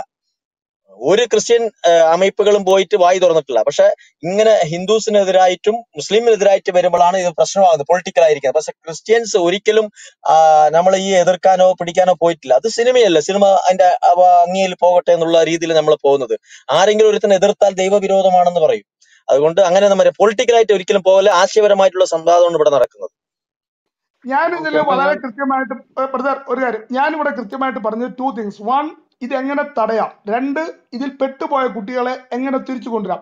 ഈ രണ്ട് കാര്യത്തിൽ ഇതിന്റെ അകത്ത് വരുന്ന പ്രാക്ടിക്കൽ ഒബ്ജക്റ്റ് നിങ്ങളെ ഞാൻ ഏകദേശം പത്തായിരത്തിലധികം ആൾക്കാർ ഇത്ര ആയിരം അല്ല അതിൽ കൂടുതൽ ആൾക്കാർ ഈ കഴിഞ്ഞ ആഴ്ചയിൽ മൂന്ന് പേരെ രക്ഷിച്ചു. അപ്പൊ ഇത് ഇത് എന്നൊക്കെ എങ്ങനെയാണ് മാസമായിട്ട് സംഭവിക്കുന്നത് ചോദിച്ചാൽ ഇത് എല്ലാവരും ക്ലബ് ഹൗസിൽ വന്നിരുന്ന് പറയും. നിങ്ങൾ ആരെങ്കിലും ഇതിനകത്ത് ഇരിക്കുന്ന ഒരാൾക്കെങ്കിലും വേണ്ടി പോലീസ് സ്റ്റേഷനിൽ പോയിട്ടുണ്ടോ എന്ന് എനിക്കറിയില്ല. ആർ- ആർക്കെങ്കിലും വേണ്ടി റിസ്ക് എടുത്തിട്ടുണ്ടോ ഉണ്ടോ എന്ന് എനിക്കറിയില്ല. ചെയ്തവർ കാണുമായിരിക്കാം ഇല്ലായിരിക്കാം. ഞാൻ അങ്ങനെ അത് അടച്ചാക്ഷേപിക്കുന്നില്ല. പക്ഷെ മെജോറിറ്റിയും ക്ലബ് ഹൗസ് കൊണ്ട് തീരും. അതിന്റെ പുറത്തേക്ക് പോയിട്ടില്ല. ഞങ്ങൾ പത്തിരുപത് വർഷമായിട്ട് ഗ്രൗണ്ടിൽ പ്രവർത്തിക്കുന്നവരാണ്. ഞങ്ങൾക്ക് വരുന്ന എതിർപ്പുകളും ഭീഷണികളും കുടുംബത്തിൽ നിന്നുള്ള പ്രഷറുകളും മറ്റു പ്രഷറുകളും എല്ലാം ഇവിടെ ആരും മനസ്സിലാക്കുന്നില്ല. പക്ഷെ നമ്മൾ എല്ലാ കാര്യങ്ങളും കേരളത്തിൽ പൊളിറ്റിക്കലി ലിങ്ക്ഡാണ് ആ പൊളിറ്റിക്സ് പിന്നെ ഇല്ലാണ്ട് പൊളിറ്റിക്കലി ഉള്ള ആൾക്കാരെ രക്ഷിച്ചുകൊണ്ട് ഡിസ്കഷൻ നടത്തിയാൽ ഡിസ്കഷൻ ക്ലബ് ഹൗസ് കൊണ്ട് തീരും. അത്രേ ഉള്ള കാര്യം. അത് അത് ഇവിടെ ഇരിക്കുന്ന ആൾക്കാർ മനസ്സിലാക്കും ഈ ക്ലബ് ഹൗസിൽ ഇതിനു വേണ്ടി ഏറ്റവും കൂടുതൽ പ്രവർത്തിച്ച സഹോദരങ്ങൾ ഈ ക്ലബ് ഹൗസിൽ ഇപ്പം പാനലിലുണ്ട് നമ്മളൊക്കെ ചെയ്യുന്നുണ്ട് ബ്രദറെ ഞങ്ങളൊക്കെ ചെയ്യുന്നുണ്ട്. എല്ലാവരും ചെയ്യുന്നുണ്ട്. ഈ ഇത് ഈ ഇവിടെ ഇത്ര റെഗുലർ ആയിട്ട് ഈ വിഷയത്തിനെ അഡ്രസ് ചെയ്ത് സംസാരിക്കുന്ന ക്ലബിൽ ആണ് ഇരിക്കുന്നത്. അതേപോലെ തന്നെ ഇവിടെ കൊടുത്തോട്ടം പാസ്റ്റർ ഉണ്ട്. അല്ല അനിൽകുമാർ അയ്യപ്പൻ ബ്രദർ ഉണ്ട്. ഇങ്ങനെ എല്ലാവരും ഇവിടെ ക്ലബിട്ട് ഈ ഒരു വിഷയത്തിനെ വളരെ ടോപ്പിക്കിനെ വളരെ എഡ്യൂക്കേറ്റ് ചെയ്ത് സംസാരിച്ചതും നൂറുകണക്കിന് പിള്ളേർക്ക് രക്ഷപ്പെടുത്തിയതും ആ ഇപ്പൊ കൊടുത്തോട്ടം പാസ്റ്റൊക്കെ പല ഇത് ഇതായിട്ട് സംസാരിച്ചിട്ടുള്ള വ്യക്തികളാണ് ഇവിടെ പലരും സംസാരിച്ചിട്ടുണ്ട്. പക്ഷെ നമുക്ക് അതുകൊണ്ടൊരു മൈലേജിന്റെ ആവശ്യമില്ല. നമ്മൾ വളരെ സൈലന്റ് ആയിട്ടാണ് പല കാര്യങ്ങളും ചെയ്യുന്നത്. അതുകൊണ്ടാണ് പലരും ഇവിടെ ഐഡന്റിറ്റി വെളിപ്പെടുത്താത്തത്. അപ്പൊ നമ്മൾ ഇങ്ങനെയുള്ള കാര്യങ്ങൾ ഇനിയും ചെയ്തുകൊണ്ടേ ഇരിക്കും അതിന് മൂവി വരണം നിർബന്ധമില്ല. പക്ഷെ നമ്മൾ സത്യസന്ധമായ കാര്യങ്ങൾ ചെയ്തുകൊണ്ടേയിരിക്കും. ഇവിടെ പൊളിറ്റിക്കൽ ബാക്ക്ഗ്രൗണ്ട് വെച്ചല്ല നമ്മൾ ഒന്നിനും ഇത് ഇത് നമ്മൾ ഇതൊരു ഇൻഡിവിജ്വൽ ഒരു മനുഷ്യ സ്നേഹത്തിന്റെ പേരിൽ അല്ലെങ്കിൽ നമുക്ക് അവരോടുള്ള ഒരു കൺസേൺ ഇപ്പൊ നമ്മുടെ അബ്ബാസ് ബ്രദർ തന്നെ ഇപ്പൊ ഇസ്ലാം മതത്തിൽ നിന്ന് വിശ്വാസത്തിലേക്ക് വന്ന വ്യക്തി അപ്പൊ അദ്ദേഹത്തിന് അറിയാം ഇസ്ലാമിന്റെ എന്ത് എന്ത് മാത്രം നെഗറ്റിവിറ്റി ഉണ്ടെന്ന്. അതേപോലെ പഠിച്ച ആൾക്കാരാണ് നമ്മുടെ കൂടെ ഉള്ളത്. അപ്പൊ ആ ഒരു ബേസിൽ നമ്മൾ സംസാരിക്കത്തുള്ളൂ. അതുകൊണ്ടാണ് നമ്മൾ ഇവിടെ പൊളിറ്റിക്കൽ ഡിസ്കഷനെ എന്റർടൈൻ ചെയ്യാറുള്ളത്. നിങ്ങളുടെ ഇൻഡിവിജ്വൽ ഒരു ചോദ്യം ഒരു ചോദ്യം. യേശു യേശുക്രിസ്തുവിന്റെ നാമത്തിൽ യേശുക്രിസ്തുവിന്റെ നാമത്തിൽ രണ്ടായിരത്തി ഏഴ് രണ്ടായിരത്തി ഒമ്പതിൽ ഈ കാര്യം ഞങ്ങൾ സ്വന്തം ജീവൻ പണയപ്പെടുത്തി ആടുതാടും ആടുതാടിയും വലത്തൊപ്പിയും വെച്ച് ചെല്ലേണ്ടടുത്ത് ചെന്ന് ഡാറ്റായും എടുത്ത് ഡീറ്റെയിലും പൊക്കി ഗവൺമെന്റിന് കൊടുത്തപ്പം എന്നെയും എന്റെ കൂടെ ഉണ്ടായിരുന്നവരെയും സംഗീതം സംഗീതം ചാണകമൊന്നും വിളിക്കാത്ത ഒരാളെങ്കിലും ഈ ഗ്രൂപ്പിൽ ഉണ്ടെങ്കിൽ ഒന്ന് കൈപൊക്കി കാണിച്ചാൽ ഉപകാരമായിരുന്നു. ഞാനുണ്ട് ഒരാളെങ്കിലും. ചും അതായത് എല്ലാവർക്കും എന്നാന്നറിയോ?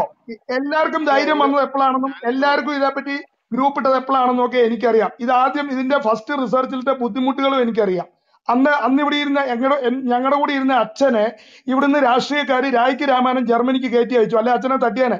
ഈ ഈ ഈ റിസർച്ചിന് നേതൃത്വം നൽകി അച്ഛനെ അച്ഛനെ പിന്തുണ നൽകാൻ ഇവിടെ ഇരിക്കുന്ന ആരെങ്കിലും ഒരാൾ കരഞ്ഞോണ്ട് അച്ഛൻ അവസാനം വിമാനത്താവളത്തിൽ തൊണ്ണൂറ്റി മൂന്ന് തൊണ്ണൂറ്റി നാല് കാലഘട്ടങ്ങളിൽ തുടങ്ങി പ്രവർത്തനം ആരംഭിച്ചാണിത്. അല്ലാതെ രണ്ടായിരത്തി ഒമ്പതിലല്ല ഇതിന്റെ അതിന് മുമ്പ് തന്നെ ഞങ്ങൾ ഇത് പ്രവർത്തനം ഞങ്ങൾ തമിഴ്നാട്ടിലാണ് ഉള്ളത്. ഇതിന്റെ മുമ്പ് തൊണ്ണൂറ്റി എട്ടിലൊക്കെ ഇവിടെ റാം ആകും ആ സമയങ്ങളിലേ ഞങ്ങൾ ഇതിന്റെ പ്രവർത്തനമുണ്ട്. അവരിന്റെ പള്ളിയിൽ പോയി ഞങ്ങൾ സംസാരിക്കുന്നത് പ്രവർത്തിക്കുന്നുണ്ട് ബ്രദറെ. നിങ്ങൾ വിചാരിക്കുന്നത് പോലെയല്ല. ഇവിടെ നമ്മൾ രാഷ്ട്രീയവൽക്കരിക്കേണ്ട? ഇപ്പൊ ഇവർ വന്നു ഇവർ വന്ന കാരണമൊന്നുമല്ല. അതിന് മുമ്പേ കോൺഗ്രസ് ഭരിക്കുകയാണെങ്കിലും ശരി യു പി എ ഭരിക്കുകയാണെങ്കിൽ നമുക്ക് രാഷ്ട്രീയമല്ല. ആര് ഭരിക്കുകയാണെങ്കിലും നമ്മൾ സത്യം പറഞ്ഞുകൊണ്ടേയിരിക്കും. അത് മുസ്ലിങ്ങളുടെ ഈ പൊളിറ്റിക്കൽ പാർട്ടിയുടെ പിന്തുണ ഇല്ലേ? അദ്ദേഹം പറയുന്ന സത്യമല്ലേ? അതങ്ങോട്ട് അല്ല അല്ല നൂറ് അങ്ങനെയല്ല നിങ്ങൾ നമുക്ക് പൊളിറ്റിക്കൽ പാർട്ടി വേണ്ടെന്ന് അവിടെ പറയുന്നത്. പൊളിറ്റിക്കലായിട്ട് വേണ്ട. പിന്തുണ കൊടുക്കുന്നുണ്ട്. കമ്മ്യൂണിസ്റ്റും കോൺഗ്രസും ഇതിന് പിന്തുണ കൊടുക്കുന്നുണ്ട്. അത് ഹൺഡ്രഡ് പേഴ്സെന്റ് നെഞ്ചിൽ ദൈവം സത്യമായിട്ട് അവർ കൊടുക്കട്ടെ. നമുക്ക് എന്താ പ്രശ്നം? നമ്മൾ ആശയപരമായിട്ടില്ല സംസാരിക്കാം. അവർ കൊടുക്കട്ടെ. നിങ്ങൾക്ക് എന്താ പ്രശ്നം? നമ്മൾ ആശയപരമായിട്ട് നമ്മളെ കൊണ്ട് കഴിയുന്ന അത്രയും സാഹചര്യങ്ങൾ നമ്മൾ അതിന് മനസ്സിലാക്കി കൊണ്ടുപോകുന്നില്ല നല്ലത്. നിങ്ങൾ എന്തിനാ രാഷ്ട്രീയമായിട്ട് സംസാരിക്കുന്നത്? രാഷ്ട്രീയവൽക്കരണം എന്തിനാണ്? നമുക്ക് രാഷ്ട്രീയം വേണ്ട. ഒരു കാര്യം പറയട്ടെ ഒരു കാര്യം പറയട്ടെ. എന്താന്ന് ചോദിച്ചു കഴിഞ്ഞാൽ ഇപ്പൊ ഇവിടെ ഇരിക്കുന്ന പലരും ഇതിൽ ഇരുന്നിട്ട് പറഞ്ഞു. ജാം ജാം ഒന്ന് ഒന്ന് വെയിറ്റ് ചെയ്യേ. ജാം ഒന്ന് വെയിറ്റ് ചെയ്യേ. ഞാൻ ജാം ഒന്ന് വെയിറ്റ് ചെയ്യേ. ഞാൻ ഇദ്ദേഹത്തിനായിട്ട് മറുപടി കൊടുക്കണം. സാൻഡി ബ്രദർ പോയോ? സിസ്റ്ററെ ഞാൻ അതായിട്ട് മൂവ് ചെയ്ത്. നമ്മൾ രണ്ടു മൂന്ന് പ്രാവശ്യം വാൺ ചെയ്തു. നമ്മുടെ റൂമിന്റെ ഡെക്കോറം ഓക്കെ തെറ്റിക്കുന്ന രീതിയിലുള്ള പ്രസ്ഥാനങ്ങളാണ് പുള്ളി ഇറങ്ങുന്നത് ഇറക്കുന്നത്. പുള്ളി പേഴ്സണൽ ആയിട്ടും പോയി പൊളിറ്റിക്കൽ ആയിട്ടും പോയി. ഓക്കെ അല്ല ഇവിടെ ഇരുന്ന് വെക്കുന്നവരെ ഒന്നും ചെയ്യുന്നില്ലെന്ന് വെല്ലുവിളിക്കുകയൊക്കെ ചെയ്തതുകൊണ്ട് ഞാൻ അദ്ദേഹത്തോട് ഇത്രയും പറയാൻ ആഗ്രഹിക്കുകയാണ്. അതായത് ഞാൻ മാത്രം യഹോവയെ ആരാധിക്കാൻ ഞാൻ മാത്രം അവശേഷിച്ചു എന്ന് പറഞ്ഞ ഒരു പ്രവാചകനെ പറ്റി പഴയ നിയമത്തിൽ എഴുതിയിട്ടുണ്ട് അദ്ദേഹത്തിന് അറിയുമോ എന്നറിയില്ല. ആ എലൈജ ഏലിയ പ്രവാചകൻ കർത്താവിനോട് പറഞ്ഞതാണ് കർത്താവെ എല്ലാവരും നിന്നെ വിട്ടു. ഞാൻ മാത്രം അവശേഷിച്ചു എന്ന രീതിയിൽ പറഞ്ഞപ്പം കർത്താവ് പറഞ്ഞു ഏഴായിരം പേരെ ഞാൻ ഇവിടെ നിർത്തിയിട്ടുണ്ട്. എന്ന് പറഞ്ഞതുപോലെ താങ്കൾ ഇങ്ങനെ ഞാൻ മാത്രം ചെയ്തു എന്നൊന്നും പറയരുത് ബ്രദറെ. മറ്റുള്ളവർ ചെയ്ത് താങ്കൾ അറിഞ്ഞില്ലെങ്കിൽ താങ്കൾ ചെയ്തത് പറയുക. പക്ഷെ മറ്റുള്ളവർ ഒറ്റയാൾ ഇവിടെ ഉണ്ട് വെല്ലുവിളിക്കാന്നൊക്കെ പറഞ്ഞാൽ ഈ റൂമിൽ വന്നിട്ട് എന്താ ബ്രദറെ സ്റ്റാൻലി ബ്രദറെ ഇങ്ങനെയൊക്കെ പറയുന്നത്? ഓരോരുത്തരും ചെയ്തത് ദൈവത്തിന്റെ കയ്യിൽ റെക്കോർഡുണ്ട്. താങ്കൾ ചെയ്തത് താങ്കൾക്കറിയാം ഞങ്ങൾക്കറിയില്ലായിരിക്കാം. പക്ഷെ ഇങ്ങനെയൊന്നും വെല്ലുവിളിക്കേണ്ട ആവശ്യമില്ല. ഓരോരുത്തരെയും പ്രവർത്തിക്ക് തക്കവണ്ണം ദൈവം അവർക്ക് കൊടുക്കും. അതുകൊണ്ട് താങ്കൾ ഇത്രയ്ക്ക് ഇതാകേണ്ട ആവശ്യമില്ല. ഇനി ആരെങ്കിലും സംസാരിക്കാനുണ്ടെങ്കിൽ സംസാരിക്കാം. കാര്യം പറഞ്ഞോളൂ പറഞ്ഞോളൂ ആ പറഞ്ഞു ആ ഞാൻ ഈ വിഷയത്തിൽ അബ്ബാസ് ബ്രദർ പറഞ്ഞ കാര്യത്തിന്റെ ഒരു തുടർച്ച പറയാം. അദ്ദേഹമൊക്കെ ഇതിന്റെ നമ്മളെക്കാൾ ഈ വിഷയത്തിൽ കൂടുതൽ പ്രതിസന്ധിയിൽ പോകുന്ന ഒരു മനുഷ്യനാണ്. എനിക്ക് അദ്ദേഹത്തെ നേരിട്ടറിയില്ല കണ്ടിട്ടില്ലെന്നേ ഉള്ളൂ അറിയാം. ഇതുപോലെ നൂറുകണക്കിന് ആളുകൾ ഇസ്ലാം ഉപേക്ഷിച്ച് വന്ന ആളുകളുണ്ട്. ഇസ്ലാം ഉപേക്ഷിച്ച് വരുന്ന എക്സ് മുസ്ലിംസിന്റെ അവസ്ഥ അല്ല ഇസ്ലാം ഉപേക്ഷിച്ച് വരുന്ന ക്രൈസ്തവരുടെ അവസ്ഥ ക്രൈ ക്രിസ്തീയ വിശ്വാസം സ്വീകരിച്ചു വരുന്നവരുടെ അവസ്ഥ. ഇരട്ടി വൈരാഗ്യമാണ്. വീടുകളിൽ കയറ്റില്ല. ഇപ്പോൾ തന്നെ ഞങ്ങളുടെ പ്രവർത്തന ഫലമായിട്ട് കുറേ പേര് ഇസ്ലാം മതം വിട്ടിട്ടുണ്ട്. മലപ്പുറത്തൊക്കെയാണ്. അവർക്ക് പക്ഷേ എങ്ങും ആരാധനയ്ക്ക് കൂടാൻ പറ്റില്ല. അവിടെയുള്ള ഒരു സഭയും ഒരു സഭയും ഏറ്റെടുക്കാൻ വയ്യ. ഇവരെ ഏറ്റെടുക്കുകയില്ല. അപ്പോൾ കാരണം വെച്ചാൽ മറ്റു കൂട്ട് കൂടെയുള്ള ആളുകൾ വന്നിട്ടുണ്ടാക്കാവുന്ന പ്രശ്നത്തെ കുറിച്ച് അവർ ബോധവാന്മാരാണ്. അബ്ബാസ് ബ്രദറിനറിയാം ചില വർഷങ്ങൾക്കപ്പുറത്ത് ഈ അലവിയച്ചനും മറ്റും അനുഭവിച്ച പ്രയാസങ്ങളുണ്ട്. അദ്ദേഹം മഞ്ചേരിയിലൊക്കെ അനുഭവിച്ച പ്രയാസമുണ്ട്. എത്ര ഭീകരാവസ്ഥയിൽ കൂടിയാണ് അദ്ദേഹം കടന്നുപോയതെന്ന് ഓർക്കണം. അദ്ദേഹത്തിന്റെ കൂടെ വർക്ക് ചെയ്തൊരു ബ്രദറിനെ കഴിഞ്ഞ ആഴ്ചയിലും കണ്ടു. അദ്ദേഹത്തിന്റെ വീട് വളഞ്ഞിട്ട് നൂറുകണക്കിന് ആളുകൾ നേരം വെളുക്കോളം പിഞ്ചു കുഞ്ഞുങ്ങളും ഒക്കെ ആയിട്ട് ഭാര്യയൊക്കെ ആയിട്ട് കഴിയുന്ന ഇടത്ത് വന്ന് പാർത്ത് ഗുണ്ടായുസം കാണിച്ച അവസ്ഥയുണ്ട്. അവിടെ പിന്നെ അലവിയച്ചനൊക്കെ ഉള്ള പ്രത്യേക സ്വാധീനം ഉപയോഗിച്ച് ഹൈക്കോർട്ടിൽ നിന്ന് ഓർഡറും ഒക്കെ മേടിച്ച് പെട്ടെന്ന് വന്ന് നടത്തിയ ഇടപെടലുകൾ കൊണ്ടാണ് ആ വീടിന്റെ മുമ്പിൽ നിന്ന് ഇവർ പോയത്. രണ്ടു മൂന്ന് ദിവസം അവിടെ ക്യാമ്പ് ചെയ്ത്. ഇതുപോലൊക്കെ ഉള്ള അവസ്ഥകളുണ്ട്. അപ്പൊ ഇത് പക്ഷെ അന്ന് വാർത്തയാകത്തില്ല ഇന്നും വാർത്തയാകാറില്ല. നൂറുദ്ദീൻ മുല്ല എന്ന് പറയുന്ന ഒരു ദേവാസനുണ്ട് അദ്ദേഹം അടി വാങ്ങിയതിനും അടിയൊന്നുമല്ല തലക്കിട്ടൊക്കെ അതിഭീകരമായ വിധത്തിൽ ഭാര്യയുടെയും കുഞ്ഞിന്റെ ഒക്കെ മുമ്പിൽ വെച്ച് ആക്രമിക്കപ്പെടും അബ്ബാസ് അറിയാതൊക്കെ ഇദ്ദേഹം ആക്രമിക്കപ്പെട്ടു എന്തോ? അറിയാൻ പറഞ്ഞത് അറിയാം അറിയാം. അറിയാം അറിയാം. വളരെ നിഷ്കളങ്കനായ ഒരു മനുഷ്യനാണ്. പുഞ്ചിരിയോടുന്നത് കൊള്ളത്തേ ഉള്ളൂ അത് നിന്ന് കൊള്ളും. അങ്ങനെയുള്ള മനുഷ്യനാണ്. അങ്ങനെ നൂറുകണക്കിന് നൂറുകണക്കിന് ജീവിക്കുന്ന രക്തസാക്ഷികളുണ്ട്. അവരിത് പറയാറില്ല പുറത്ത്. ഒന്ന് ഒരു കാര്യം. മറ്റൊരു വിഷയം എന്ന് പറയുന്നത് ഈ പ്രവർത്തനങ്ങൾ തൊണ്ണൂറ്റി മൂന്നും അല്ല അതിനൊക്കെ മുമ്പ് തന്നെ വളരെ ശക്തമായിട്ട് ഈ പ്രവർത്തനങ്ങൾ അണ്ടർഗ്രൗണ്ടിലുണ്ട് അതിനെതിരെ നമ്മൾ സൃഷ്ടിച്ച പ്രതിപ്രവാഹം എന്ന് പറഞ്ഞാൽ ഇന്ന് കാണുന്ന രീതിയിലല്ല. ഇന്നിത് സംസാരിക്കാനൊക്കെ ഉള്ള ഒരു അവസരം സംജാതമായത് ബി ജെ പി ഭരിക്കുന്നതുകൊണ്ടോ ഒന്നുമല്ല. ഒരിക്കലും അങ്ങനെയല്ല. ഞാൻ അറിയാലോ ഞാൻ ജിതാദികളുടെ വിഷയത്തിൽ ഒട്ടും വിട്ടുവീഴ്ച ഇല്ലാത്ത ഒരാളാണ്. ഞാൻ സംഘപരിവാറുമായിട്ടും കോംപ്രമൈസ് ഇല്ല. എനിക്ക് പറയാനുള്ളത് പറയും. ഈ രണ്ട് കക്ഷികളോടും എനിക്ക് ഒരേ അഭിപ്രായം രണ്ടിനെ കുറിച്ചുള്ള അത് എന്നോട് പിണങ്ങിയിട്ട് കാര്യമില്ല. അതേ ഉള്ളൂ. ബാക്കി എല്ലാത്തരം ജിഹാദി വിരുദ്ധ പ്രവർത്തനങ്ങളിലും ഞാൻ എല്ലാവരോടും ചേർന്ന് നിൽക്കും. പക്ഷേ നിങ്ങൾ സംഘപരിവാർ ആകുന്നതിനും വിരോധമില്ല. അത് നിങ്ങളുടെ സ്വാതന്ത്ര്യം. പക്ഷേ സംഘപരിവാർ ഏതോ ഇവിടെ വലിയ കാര്യം ചെയ്തു എന്നുള്ളൊരു നിലയിലേക്കാണ് സംസാരിക്കുന്നത്. അവർക്ക് ഹിഡൻ അജണ്ടകളുണ്ട്. അതുകൊണ്ടാണ് ഒപ്പം നിർത്തുന്നത് എന്നുള്ളത് സമകാലിക സംഭവങ്ങൾ തെളിയിക്കുന്നുണ്ട്. ഞാൻ പൊളിറ്റിക്സ് ഏതായാലും പറയാൻ ഉദ്ദേശിക്കുന്നില്ല. അതിന് വേറെ ഗ്രൂപ്പുകളുണ്ട്. നമ്മുടെ ലക്ഷ്യവും അതല്ല. അപ്പൊ ഏതാനും അത് അത്രയും പറഞ്ഞ് അവിടെ വിടുന്നു. പിന്നെ മറുവശം ഈ ഈ മൂവ്മെന്റിന്റെ ഭാഗമായിട്ട് വന്നിട്ടുള്ള ആളുകൾക്ക് ഓരോരുത്തർക്കും ഓരോ തരം പ്രവർത്തനമാണ്. ഇപ്പൊ ഞാനും നമ്മുടെ ജെറാൾഡ് ആ, മറ്റേ എന്താ പറയാ ജസ്റ്റിനുണ്ട് ഞങ്ങൾ എത്രയോ സ്ഥലങ്ങളിൽ കൗൺസിലിംഗ് നടത്തിയിട്ടുണ്ട്. എത്രയോ പേരെ തിരിച്ചു കൊണ്ടുവന്നിട്ടുണ്ട്. അതിപ്പോഴും തുടരുന്നുണ്ട്. പല പല ആളുകൾ. ഇന്നും ഒരാൾ വിളിച്ചു. ഒറ്റപ്പെട്ട സംഭവങ്ങളായിട്ടുണ്ട്. തിരിച്ചു കൊണ്ടുവരുന്നവരുണ്ട്. ഇവർക്ക് തന്നെ അറിയാം. ഞങ്ങൾ ഇങ്ങനെ കൊണ്ടുവരുന്ന ആളുകളെ പറ്റി അവർക്ക് നല്ല ബോധ ബോധമുണ്ട്. ആരൊക്കെ ഇതിൽ പ്രവർത്തിക്കുന്നു ഉള്ളതിനെ പറ്റി. തീർച്ചയായിട്ടും നമ്മളുടെ സ്റ്റാൻലി ബ്രദറും ഒക്കെ ഇതിൽ എടുത്ത റിസ്കിനെ പറ്റി അവരെപ്പോഴും നേരിടുന്ന പ്രതിസന്ധിയെ പറ്റിയും നമ്മൾ ബോധവാന്മാരാകണം. അതൊക്കെ സത്യം തന്നെയാണ്. കള്ളമാണെന്നൊന്നുമില്ല കത്തോലിക്ക പുരോഹിതന്മാർ വിശേഷിക്കും. കാരണം കത്തോലിക്ക സഭ ഇപ്പോഴാണ് ഇതേപ്പറ്റി ഒന്ന് ഉണർന്നു തുടങ്ങി. അതിനു മുമ്പ് ഇത് പറയുന്ന പുരോഹിതന്മാരെ നേരിടുന്ന വലിയ വിപത്തായിരുന്നു. ബിഷപ്പുമാർ നേരെ ഇവർക്ക് എതിർക്കും. അച്ഛന്മാരുടെ സ്വന്തം ഇടവകയിൽ നാൾ പോകുമ്പോൾ പിള്ളേര് പോകുമ്പോൾ അവർക്ക് ഇതറിയാം. പക്ഷെ മേൽക്കടകത്തിന് അതേപ്പറ്റി അത്ര വലിയ റിസ്ക് ഇല്ലായിരുന്നു. പക്ഷെ നേരിട്ടത് കണ്ടു തുടങ്ങിയപ്പോൾ എല്ലാവരും അതിന്റെ ഭാഗമായിട്ട് രംഗത്തിറങ്ങി. ഇന്ന് എല്ലാവരും നമ്മൾ ബോധവാന്മാരാണ് ഈ വിഷയത്തെപ്പറ്റി. ജാഗ്രത അതിൽ ഒരാളുടെയോ ഒരു സമൂഹത്തിന്റെയോ പ്രവർത്തനമല്ല. എല്ലാവർക്കും ഇന്നത് ബോധ്യപ്പെട്ടിരിക്കുന്നു. അത് എല്ലാവർക്കും ബോധ്യപ്പെട്ട ഗുണപരമായൊരു ഒരു അന്തരീക്ഷമുണ്ട്. പക്ഷെ ഈ കാരണങ്ങളെ എങ്ങനെയാണ് നമ്മുടെ നെക്സ്റ്റ് സ്റ്റെപ്പ് എന്നതിനെ കുറിച്ച് കൃത്യമായിട്ടുള്ള ഒരു വീക്ഷണം നമുക്കില്ല. ഉണ്ടാക്കാൻ പറ്റത്തുമില്ല. കാരണം ഇതിനെ നേരിടാനുള്ള വഴി എന്താണ്? അപ്പോൾ ഒരു കൂട്ടർ പറയും നമുക്ക് ഈ ഇടതുപക്ഷത്തെയും കോൺഗ്രസിനെ എതിർത്തുകൊണ്ട് ബി ജെ പിയുടെ കൂടെ നിൽക്കാം എന്ന് പറയുന്നു. അല്ലെങ്കിൽ അത്തരം ഒരു സൈലന്റ് ആയെങ്കിലും ചെയ്യാം. ഇതൊക്കെ തന്ത്രമാണ്. അതിനൊന്നും കുഴപ്പമില്ല. അങ്ങനെയൊക്കെയാണ് നല്ലതെങ്കിൽ അത് തുടരട്ടെ. എന്നാൽ അതിന് താല്പര്യമില്ലാത്ത മനുഷ്യരുമുണ്ട്. അത് ശരിയല്ല എന്ന് തോന്നുന്ന ഒരു ബോധവും നമുക്കിടയിൽ രൂപപ്പെടുന്നുണ്ട്. അത് രണ്ടും വ്യത്യസ്തമാണ്. അതിന് കലയിച്ചിട്ട് കാര്യമില്ല എതിർത്തിട്ട് കാര്യമില്ല. അപ്പോ ഇനി ആ രൂപത്തിൽ തീരുമാനം എടുക്കുന്നവനെ സംഗീത ചാപ്പ കുത്താനും ഞാനില്ല. കാരണം അത് അയാളുടെ സ്വാതന്ത്ര്യമല്ലേ ഒരാളുടെ സ്വാതന്ത്ര്യമാണ്. അയാൾ ഏത് രൂപത്തിൽ രാഷ്ട്രീയ പ്രവർത്തനം നടത്തണമെന്നുള്ളത് അയാളുടെ സ്വാതന്ത്ര്യമാണ്. അത് ഇതും തമ്മിൽ നമ്മൾ ചേർത്ത് ഒട്ടിക്കരുത്. കാരണം അതിന് അതിന്റെതായ രീതിയും പരിമിതിയൊക്കെ ഉണ്ട് ഈ പറയുന്ന കാര്യത്തിൽ. ഈ അപ്പൊ നമ്മളൊരു രാഷ്ട്രീയമാണെങ്കിലും അല്ലെങ്കിലും ഒരു വിഷയത്തെ അഭിമുഖീകരിക്കുന്നത് നയവും പരിപാടിയൊക്കെ നോക്കിയാണ്. എന്താണ് നയം? എന്താണ് പരിപാടി? അതിന്റെ ലക്ഷ്യം എന്താണ്? എങ്ങനെയാണ് മുമ്പോട്ടുള്ള പോക്ക്? ഇതെല്ലാം കൂടെ വെച്ചുകൊണ്ടാണ്. അല്ലാതെ പെട്ടെന്നുണ്ടാകുന്ന ഒരു വികാരത്തെ ആശ്രയിച്ചുകൊണ്ട് ഒരുത്ത ഒരാൾക്കും തന്റെ കാഴ്ചപ്പാടിത് മാറാനൊന്നും പറ്റിയല്ല. അതിലല്ലെങ്കിൽ അതിന് തക്കതായിട്ടുള്ള അന്തരീക്ഷ സംജാതമാകണം. പിന്നെ ജിഹാദികളെ സംബന്ധിച്ചിടത്തോളം അവരുടെ ഈ പൊതു സ്വഭാവം എക്സ്പോസ് ചെയ്യേണ്ടതിന് പലതരം രീതികളുണ്ടായിരുന്നു. ഒന്ന് ഈ പറയുന്ന ജിഹാദ് പോലുള്ള കാര്യങ്ങൾ ആക്ഷൻ നടത്തി രംഗത്തിറങ്ങണം. അത് സ്റ്റാൻലി സൗറിനെ പോലുള്ള ആളുകൾ സാറിനെ പോലുള്ള ആളുകൾ അല്ലെങ്കിൽ ജെറാൾഡ് നമ്മുടെ ജസ്റ്റിനെ പോലുള്ള ആളുകൾ കെവിൻ പീറ്ററെ പോലുള്ള ആളുകളൊക്കെ കാര്യക്ഷമതയോടെ കോൺട്രിബ്യൂഷൻ നടത്തിയിട്ടുണ്ട്. അത് സത്യം തന്നെയാണ്. ഇനി വേറൊരു കൂട്ടർ ഭൗതിക ലെവലിൽ നിന്നുകൊണ്ട് പണിയെടുക്കണം. ഭൗതിക ലെവലിൽ ഒരു ജോലിയാണ് ഈ ക്ലബ് ഹൗസ് ചെയ്യുന്നത്. ക്ലബ് ഹൗസ് അടുത്ത കാലത്ത് ഉണ്ടായതാണ്.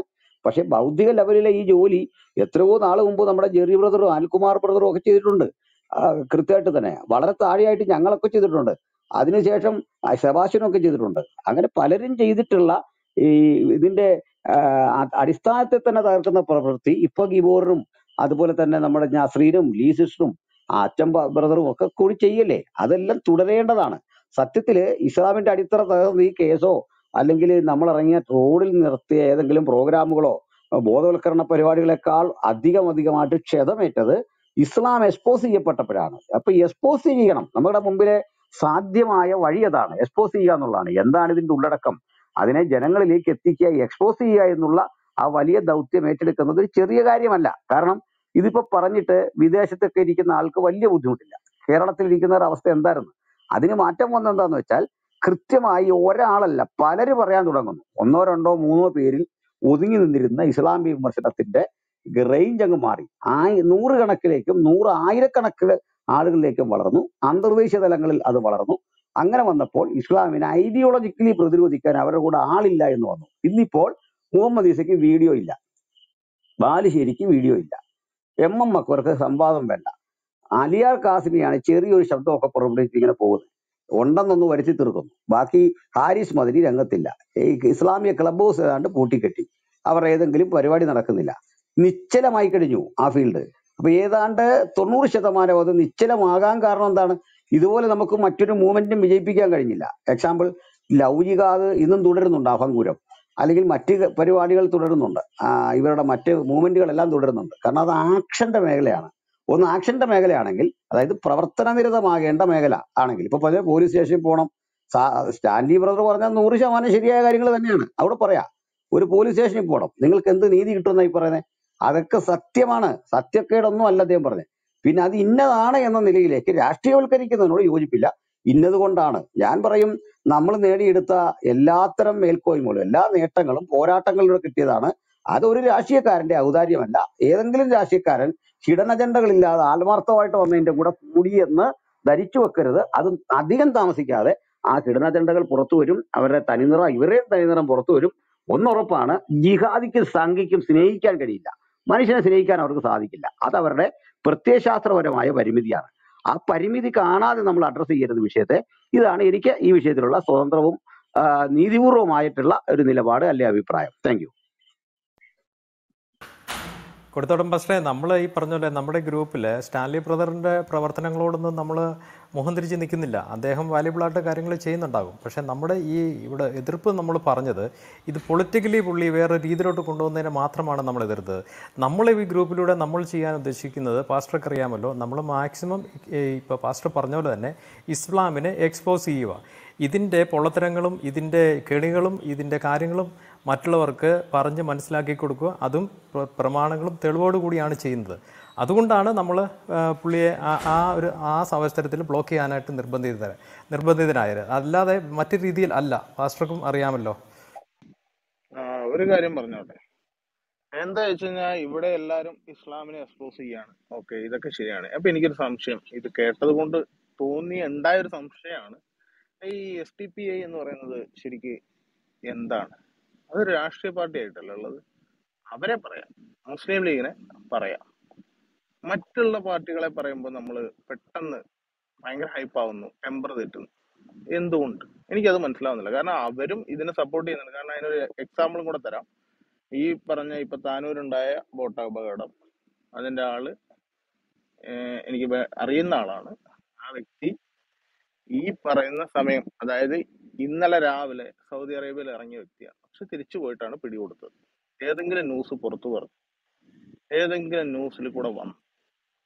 കാരണം അയാൾ ഇവിടെ വന്നു കഴിഞ്ഞാൽ കേന്ദ്ര ഗവൺമെന്റിന്റെ കയ്യിൽ പോകും പിന്നെ പുറത്തോട്ട് പോകില്ല കാരണം പക്ഷെ സത്യത്തിൽ വേറൊരു കാര്യം പറയാം. അയാളെ പെടുത്തിയതുമാണ്. അയാളുടെ കയ്യിൽ നിന്ന് നല്ലപോലെ കമ്മീഷൻ അടിച്ച് അയാളെ പെടുത്തിയതാണ് ഇതിനകത്ത്. അതും എനിക്കറിയാം.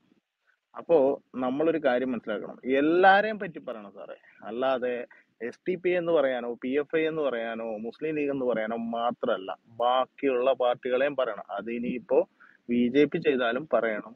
കോൺഗ്രസ് ചെയ്താലും പറയണം കമ്മ്യൂണിസ്റ്റ് ചെയ്താലും അതിന്റെയൊക്കെ മുകളിൽ ഇരിക്കുന്ന തലതൊട്ടപ്പന്മാരെ പോലെ ഇരിക്കുന്ന നമ്മുടെയൊക്കെ അങ്ങ് എല്ലാവരുടെയും തലതൊട്ടപ്പനായിരിക്കുന്ന ഇവന്മാരെ പറ്റി പറയാൻ എല്ലാവരും ശ്രമിക്കണം. അല്ലാതെ എസ് ടി പി ഐ മാത്രമല്ല ഈ പറയുന്ന ജിഹാദിവൽക്കരണത്തിന് കൂട്ടു നിൽക്കുന്നത് ഞാൻ വിശ്വസിക്കുന്ന കുറച്ച് രാഷ്ട്രീയ പാർട്ടികളുണ്ട്.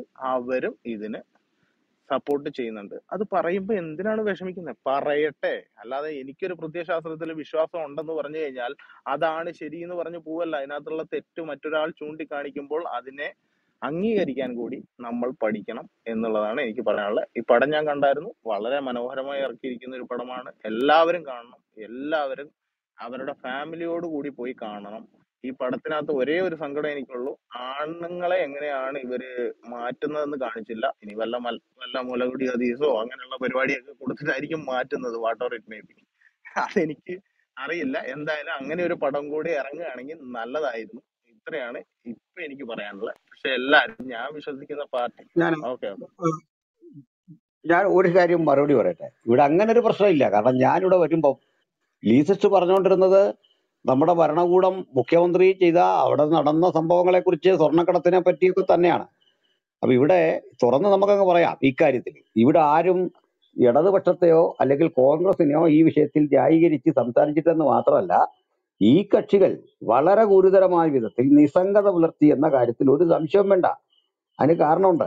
കാരണം എന്താന്ന് വെച്ചാൽ അഞ്ച് മന്ത്രിമാരെ വെച്ചുകൊണ്ട് യു ഡി എഫ് ഭരിക്കുന്ന കാലത്ത് ഉമ്മൻചാണ്ടിക്ക് വഴങ്ങേണ്ടി വന്നു. അദ്ദേഹം സമ്മർദ്ദത്തിന് വഴങ്ങി. ഞാൻ പറയാം സക്കീർ നായിക്കിനെ കൊണ്ടുവന്ന കാലമുണ്ടല്ലോ സക്കീർ നായിക്ക് ഇവിടെ ഒന്ന് പ്രസംഗിക്കുക എന്ന് പറഞ്ഞ ആലോചിച്ച് ഒരു ഭീകരൻ. അത് നടത്തിയത് നമ്മൾ പറഞ്ഞിട്ടിരിക്കുകയാണ്. തിരിച്ച് ഇപ്പുറത്ത് ഈ മുഴുവൻ ഈ പിന്നെ മുസ്ലിം ലീഗും താമസം പിന്നെ എൽ ഡി എഫിലേക്ക് പോകുന്ന ഉറപ്പായി കഴിഞ്ഞിരിക്കുകയാണ്. ഇത് വസ്തുതയാണ്. ഇതിനെ ആരും മോശമായിട്ട് കാണുന്നില്ല. അത് നടക്ക അവരെ പറയുമ്പോൾ ആർക്കും ഒരു പ്രശ്നവും ഇവിടെ ഇല്ല. പക്ഷെ പ്രോബ്ലം ഞാൻ ഇത്ര പറയുന്നുള്ളൂ. ക്രൈസ്തവൻ നേരിടുന്ന ഇത്തരം പ്രശ്നങ്ങളുടെ ഏക രക്ഷക മാർഗം ബി ജെ പി എന്ന് പറഞ്ഞാൽ അത് ഒരിക്കലും ഉൾക്കൊള്ളാൻ എനിക്ക് പറ്റില്ല വ്യക്തിപരമായിട്ട്. കാരണം അവരുടെ ഹിഡൻ അജണ്ടയാണ് പ്രശ്നം. അല്ലെ ബി ജെ പി അവരുടെ ഈ ഗോൾ വർക്കർ രചനയുടെ നയം തിരുത്തിയായിട്ട് എനിക്കറിയില്ല. അത് അത് തിരുത്താതെ നമുക്കത് പറയാൻ പറ്റില്ല. അല്ലത് മരവിപ്പിച്ചോ എന്നെങ്കിലും ഒന്ന് പറ. ഇതിന്റെ ആൾക്കാർ പറയുന്ന മുഴുവൻ ബി ജെ പി ഭരിക്കുന്ന സംസ്ഥാനങ്ങളിലൊന്നും ഒരു പ്രശ്നമില്ല അവിടെ വളരെ സുഖമാണ്. അത് ഭൂമിയിലെ സ്വർഗമാണ് അവർ നമ്മൾ ഉദ്ദേശിച്ച പോലൊന്നുമല്ല. നല്ല ഭരണമാണ്. ഇതല്ല വേണ്ടത്. ക്രൈസ്തവന്റെ അവകാശങ്ങളെ ഹനിക്കത്തക്ക വിധ എഴുതി വെച്ച് രേഖ പ്രമാണമാക്കിയ ഒരു സംഘടന. അത് രണ്ട് വിധത്തിലാണ് ഇതിനെ സമീപിക്കുന്നത്. അതാണ് കാണണ്ടേ. അതായത് ഇടത് കക്ഷികളെയും വലത് കക്ഷികളെയും എതിർക്കുന്നു. പകരം ദേ ഇതാണ് നല്ലതെന്ന് പറയുന്ന ഒരു രാഷ്ട്രീയം ചർച്ച ചെയ്യുന്നത് ശരിയല്ലെന്നേ പറഞ്ഞുള്ളൂ. അതിന് പരിഹാരമാണ് ഇതെന്ന് ഒരു തരത്തിലും ഒരു തരത്തിലും കാണാൻ വയ്യ. കാരണം കേരളം പോലുള്ള സ്ഥലങ്ങളിൽ ഒന്ന് ഫിൽട്രേറ്റ് ചെയ്ത് കയറാൻ വേണ്ടിയുള്ള ഒരു വഴി തിരയാൻ ക്രൈസ്തവരെ ഒരു വഴിയാക്കി സ്വീകരിക്കുന്നു. ഇതാണ് ഞങ്ങൾ നമ്മൾ കാണുന്ന ഇതിലെ പ്രശ്നം. മാത്രമല്ല അടിസ്ഥാനപരമായിട്ട് സംഘപരിവാർ എത്തുന്ന ഒരു രാഷ്ട്രീയമുണ്ട്. അത് ഗോൾവർക്കർ രചനകളാണ് അതിന്റെ അടിസ്ഥാനം. അതിലെ പ്രഖ്യാപിത ശത്രുക്കളുടെ ഗണത്തിലാണ് ആഭ്യന്തര ശത്രുക്കളുടെ ഗണത്തിലാണ് ക്രൈസ്തവരും മുസ്ലിങ്ങളും അതുപോലെ തന്നെ കമ്മ്യൂണിസ്റ്റുകളും പെടുന്നത്. ഇവിടെ ഒരു കാര്യം കൂടെ മുസ്ലിം എന്ന് പറയുന്ന ഒരു ജനതയോടോ ആ സമൂഹത്തോടോ അല്ല ഞങ്ങൾ കലഹിക്കുന്നത് ഞങ്ങൾക്ക് അവരെ സഹോദരന്മാർ തന്നെയാണ്. പക്ഷേ അതിൽ മതാന്തത പൂണ്ടിട്ട് അവരിലെ മഹാഭൂരിപക്ഷം ഇന്ന് മാറിക്കൊണ്ടിരിക്കുന്നു. ഞങ്ങൾ ആ മതത്തിന്റെ തത്വശാസ്ത്രത്തെ എതിർക്കുന്നത് മതതത്വശാസ്ത്രത്തെയാണ് എതിർക്കേണ്ടത്. അല്ല മനുഷ്യനെ അല്ല അങ്ങനെ നമ്മൾ കാണുന്നുമില്ല കാണാനും പാടില്ല. മറുവശത്ത് നമ്മൾ കാണുന്നത് ഈ ഇടതുപക്ഷമാണെങ്കിലും വലതുപക്ഷമാണെങ്കിലും കൈയയച്ച സഹായങ്ങൾ. ഞാൻ എത്ര പറഞ്ഞ മദ്രസയുടെ കാര്യം ഇതേണ്ട ഖുറാൻ ഇറക്കുന്ന ഒരു വകുപ്പ് തന്നെ ഈന്തപ്പഴവും ഖുറാനും ഇറക്കുന്ന ഒരു വകുപ്പ് തന്നെ ഉണ്ടായി നമ്മുടെ രാജ്യത്ത്. ഇതിനു മുമ്പ് കേൾക്കാത്ത കാര്യമാണ്.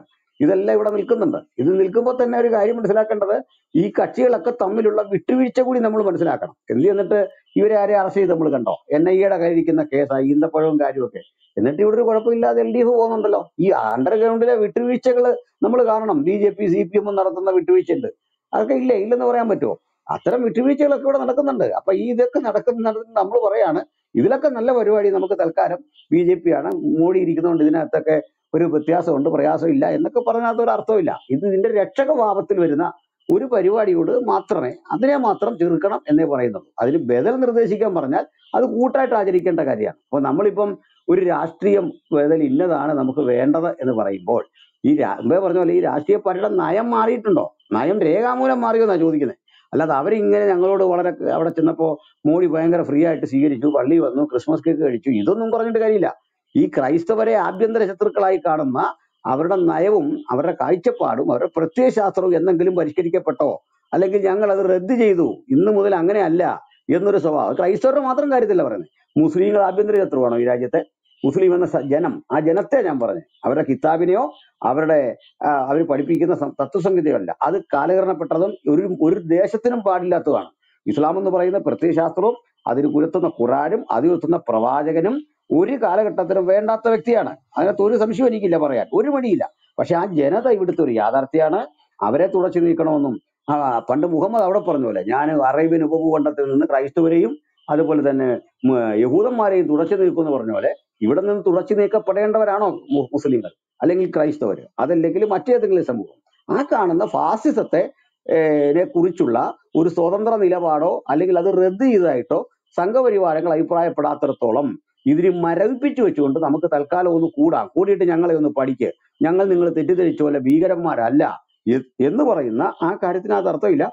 അതിനെ നമ്മൾ ഇതാണ് ബദൽ എന്ന് പറയുന്നിടത്ത് മാത്രമേ ഞങ്ങൾ അസഹിഷ്ണപ്പെട്ടിട്ടുള്ളൂ ഇതാണ് അതിന് പറ്റിയ വഴി എന്ന് പറയുന്നിടത്ത് അസഹിഷ്ണുതപ്പെടുന്നു. അസഹിഷ്ണുതയല്ല അത് ശരിയല്ല എന്ന് നമ്മൾ പറയുന്നു. ഇത് എന്നെ സംബന്ധിച്ചിടത്തോളം ഇത് മൂന്നും ഒരുപോലാണ്. ഏത്? ഈ ഇടത് വലത് പ്രത്യയശാസ്ത്രവും ബി ജെ പി ഒക്കെ ഒരുപോലാണ്.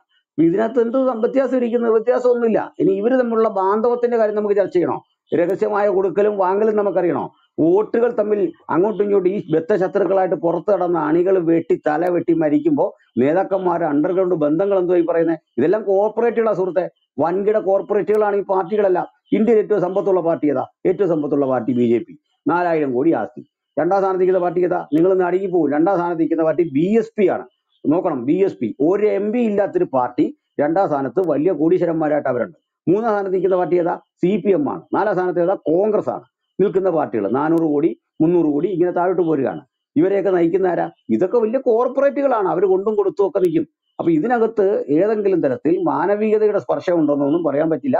അതിനകത്ത് നമുക്ക് പിന്നെ കാണേണ്ടത് ഈ രാജ്യത്തെ ഭരണഘടനാ മൂല്യങ്ങളും അതിനോട് പ്രതിപത്തി പുലർത്തി പോകുന്ന ഒരു മതേതര സങ്കല്പം. ഞാൻ പറഞ്ഞല്ലോ അങ്ങ് ചോദിച്ച പോലെ ഏതെങ്കിലും വിട്ടുവീഴ്ച ഇടത് വലത് കക്ഷികളോടുണ്ടോ എന്റെ ഭാഗത്ത് ചോദിച്ചാൽ ഒറ്റ കാര്യത്തിൽ. ആ മതേതര ബോധത്തിൽ ബി ജെ പി ഉയർത്തുന്ന ഏതെങ്കിലും തരത്തിലെ പ്രത്യയശാസ്ത്ര പ്രശ്നങ്ങൾ രേഖാമൂലം ഈ പാർട്ടികളിലില്ല. പക്ഷെ ഇവർ വല്ലാതെ ജിഹാദികൾക്ക് വളരാൻ മണ്ണിട്ട് കൊടുത്തു വളമിട്ട് കൊടുത്തു ഇന്നും അത് തുടരുന്നു ഒരു പത്ത് വർഷത്തിനുള്ളിൽ. കോൺഗ്രസ് ഇപ്പോഴേ അത് പഠിച്ചു കഴിഞ്ഞു അതിന്റെ വിഷമം. കാരണം കോൺഗ്രസിന്റെ പാളയം വിട്ട് അവർ പോയിക്കൊണ്ടിരിക്കുന്നു. അപ്പുറത്ത് ഇല്ലുമ്പോൾ ഇവർ പഠിക്കും. കാരണം എന്താ അറിയണ്ടേ അഫ്ഗാൻ പോലെയുള്ള രാഷ്ട്രങ്ങൾ ഒരിക്കൽ കമ്മ്യൂണിസ്റ്റ് ആധിപത്യത്തിൽ കിടന്നതാണ് ആ സ്ഥലങ്ങൾ ഇന്ന് എവിടെ പോയി നിൽക്കുന്നു? അത് ഏറ്റവും അങ്ങേറ്റം ഭീകരമായ ഒരു അവസ്ഥയിലേക്ക് ഇസ്ലാമിക വർഗീയവാദികൾ കൊണ്ടുപോയി. അതിന്റെ സമാനമായ അനുഭവങ്ങൾ നമ്മുടെ രാജ്യത്തും വരുമെന്ന് താമസം പിന്നെ അവർക്ക് മനസ്സിലാകും. ഇതിന് ബദൽ എന്ത്? ബി ജെ പി ആണോ? ഒരിക്കലും ഇതിന് ബദൽ ബി ജെ പി അല്ല.